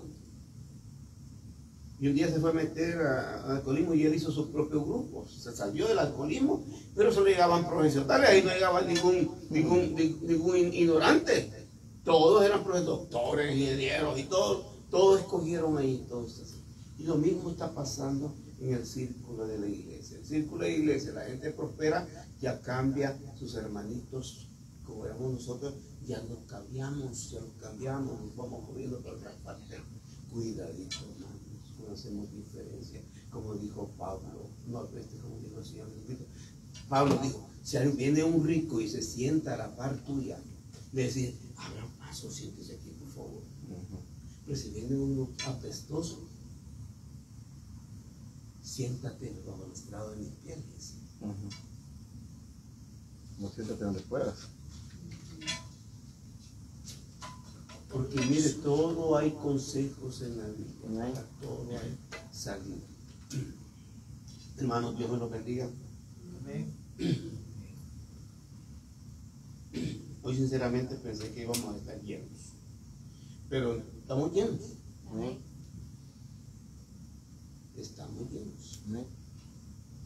Porque estamos supuestamente solo, solo empezar cinco y hoy somos ocho. Ya estamos llenos. Oremos por nuestros hermanos. Aleluya. Oremos por cada uno de nosotros. Ore- Oren por sus hijos. Porque hoy el consejo ya no lo quieren tomar. Ya están en esa mirar mis hijos. Y debemos orar por ellos porque Dios tenga misericordia que los salve.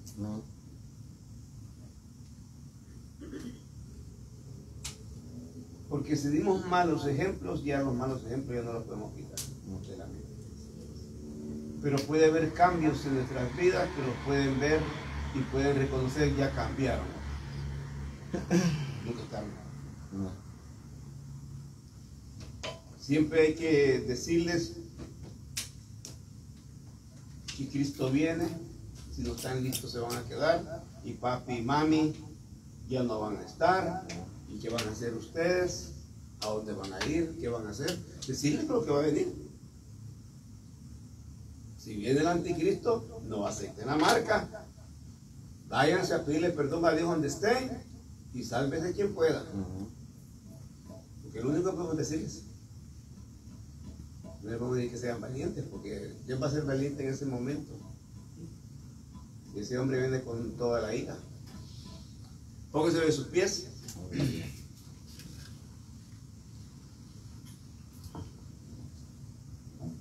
Hermanos,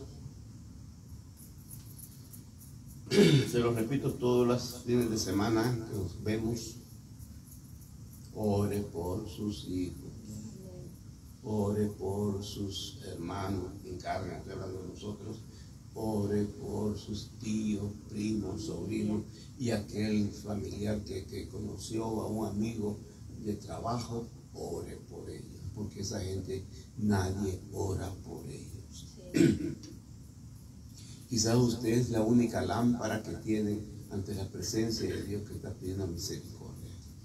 Si hay otros, gloria a Dios, porque entre más son, mucho mejor. ¿Verdad? Pero oremos por nuestras familias. Ore por su nación, hermano. Pero ore por esta nación, porque aquí estamos nosotros. Porque de todos modos todas las naciones están en el mismo charco, sea quien sea. Mire Israel lo que está pasando en Israel.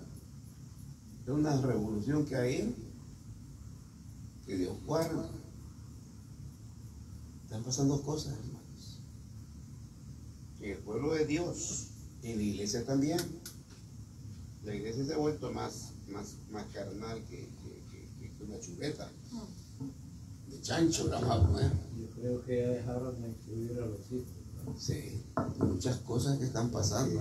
No se estuvieran dando las cosas que están Bueno, Israel, Israel, Israel, Israel hay muchas cosas que hay que leer lo que está pasando. Acuérdense que ellos no aceptaron a Cristo. Ellos tienen que pasar la gran tribulación. Lógicamente se lo dice. Y Dios va a venir a salvarlos a ellos. Ya nosotros ya no estamos en ese, en ese cuento hoy. Dios pasa su, su gracia a Israel de vuelta. Hoy estamos nosotros como iglesia. Israel no es que esté afuera, lo que pasa es que Israel sigue desobediente. Igual lo que está pasando con nuestros hijos es un ejemplo. Rebeldías. Hasta nosotros mismos somos rebeldes. Conociendo la verdad nos podemos de rebeldes. ¿Y por qué? Y mire, hermanos, eh, la, cosa con, con el Evangelio es de repetición. Advertencias, advertencias. Todos los mensajes tienen que ser de advertencia. Todos los mensajes son de advertencia. Porque no estamos fijos. Estamos esperando algo. Padre, te damos gracias esta noche. Señor, sabemos que hemos fallado en muchas áreas. Hemos fallado con nuestros hijos. Hemos fallado con nuestros sobrinos, tíos, primos, abuelos, nietos, con nuestros padres, nuestros hermanos. Hemos fallado, Señor. Pero en esta noche, Señor, yo pido misericordia por mi familia, por mis hermanos, mis tíos, mis primos, mis sobrinos, mi hija, mis nietos. Señor, pido ten misericordia de ellos. Ten misericordia de esta nación en que estamos, Padre. Ten misericordia de tu pueblo de Israel, Señor. Ten misericordia de Guatemala, Honduras, Nicaragua, Perú, El Salvador y otros países, Señor, como, como Costa Rica, Panamá, Colombia, Venezuela, Señor. Mira lo que está pasando, Señor, en Europa, en África, en Asia. Todo es un polvorín, Padre, de incredulidad, de dudas. Señor. Cada quien lleva su propia doctrina tuya, Padre, pero no se quieren llevar a la, no se quieren llevar a la tuya porque sé que es anticuada, Señor. Ya pasó de moda y, queremos un nuevo evangelio, una nueva unción. Es lo que dice, Padre. Pero nosotros estamos aquí siendo guiados por la doctrina que tú nos dejaste en el Calvario, Señor. En la cruz, de aquella cruz, Dios mío. Donde yo primeramente vi la luz, Padre. Ahí es donde quiero llegar a ti, Señor. En el sufrimiento, en la sangre derramada por nosotros, Padre. Tú no nos diste un, no nos diste un paraíso en esta tierra. Tú nos prometiste un paraíso en el cielo, Padre. En esta vida tenemos que caminar, Señor, por espinas, por cardos, Dios mío, pero en tus caminos, guiados por ti, guiados por el Espíritu Santo. Algunas veces deslizamos, otras veces caemos, pero el Espíritu siempre nos vuelve a levantar, Señor. Ten misericordia de nosotros. Ten misericordia de nuestra familia, Dios mío. Ten misericordia de los hermanos que ya no vienen, Señor. Si no vienen aquí, pero que vayan a otro lugar, Dios mío, a otra iglesia, que reciban tu palabra, Padre. Lo que interesa es la alma salvada, Padre. No queremos número, queremos salvación, Padre. No pedimos dinero tampoco, Padre. Queremos almas que se salven, Dios mío. Ten misericordia de los que se han salido del camino. Mira, Señor, por Rosa Guevara. Mira por hermano. Padre, mira por los hermanos que se han ido, Señor. Ten misericordia de Evelyn. Ten misericordia de Corina. Mira por, por la hermana Norma, Señor. Mira, Señor, que vayan a otro lugar, Padre, pero que se vayan a gozar con que se gozan, Padre, que vayan a buscar otro lugar, aunque sea, Padre. No es que los esté sacando, pero si no quieren aquí, que vayan a otra parte, Señor. Que reciban de tu palabra, que reciban de tu amor, Señor. Ten misericordia de ellos, también como de nosotros, por nuestros hogares, Dios mío, en el trabajo donde estamos. Síguelo guardando, protegiéndolo, Señor, para que sigamos trabajando, Señor.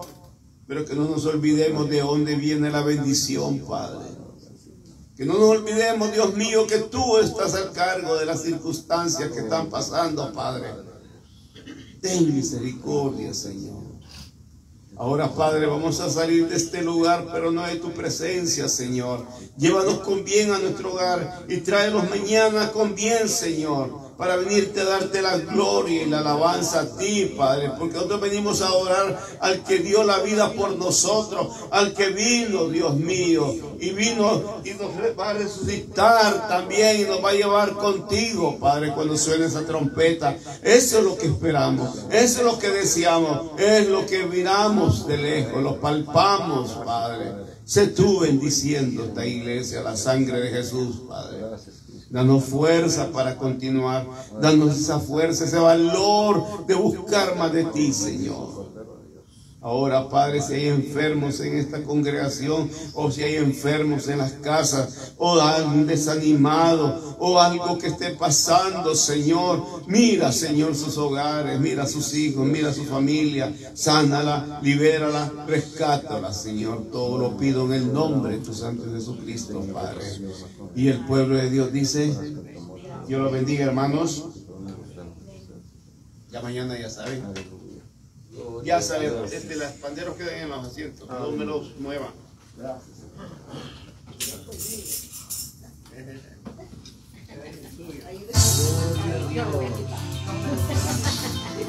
Los panderos.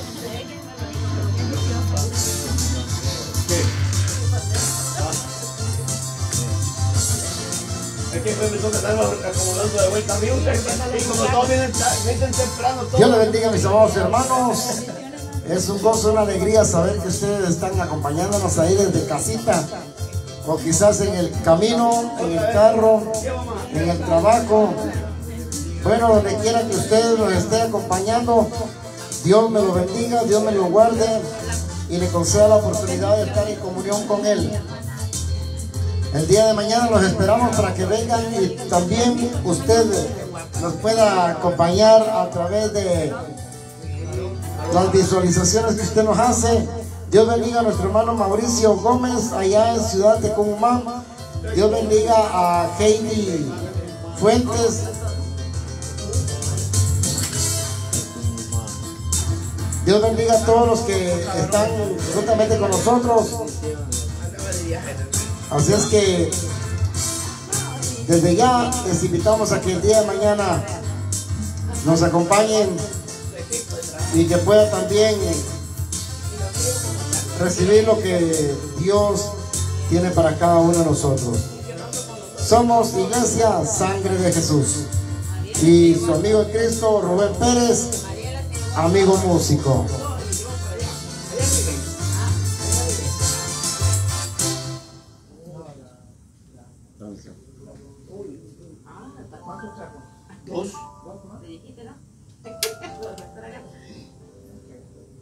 ¿No está pagado? Si le pasan, viste 20 dólares. Sí. Ahí no dijo Ariel tocaba pues. Ah, no le bajar a 5 usted porque usted sabe cómo soy yo. Oh, sí.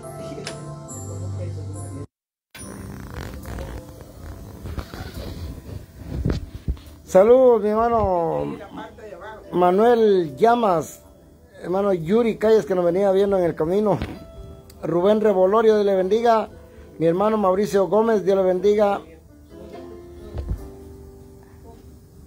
Saludos, hermano David, que nos estaba viendo también. Y Yesenia Lozano, Dios les bendiga a todos ustedes que nos han acompañado en esta transmisión. Les saluda a su hermano en Cristo, Rubén Pérez. Y Dios les bendiga, Iglesia Sangre de Jesús.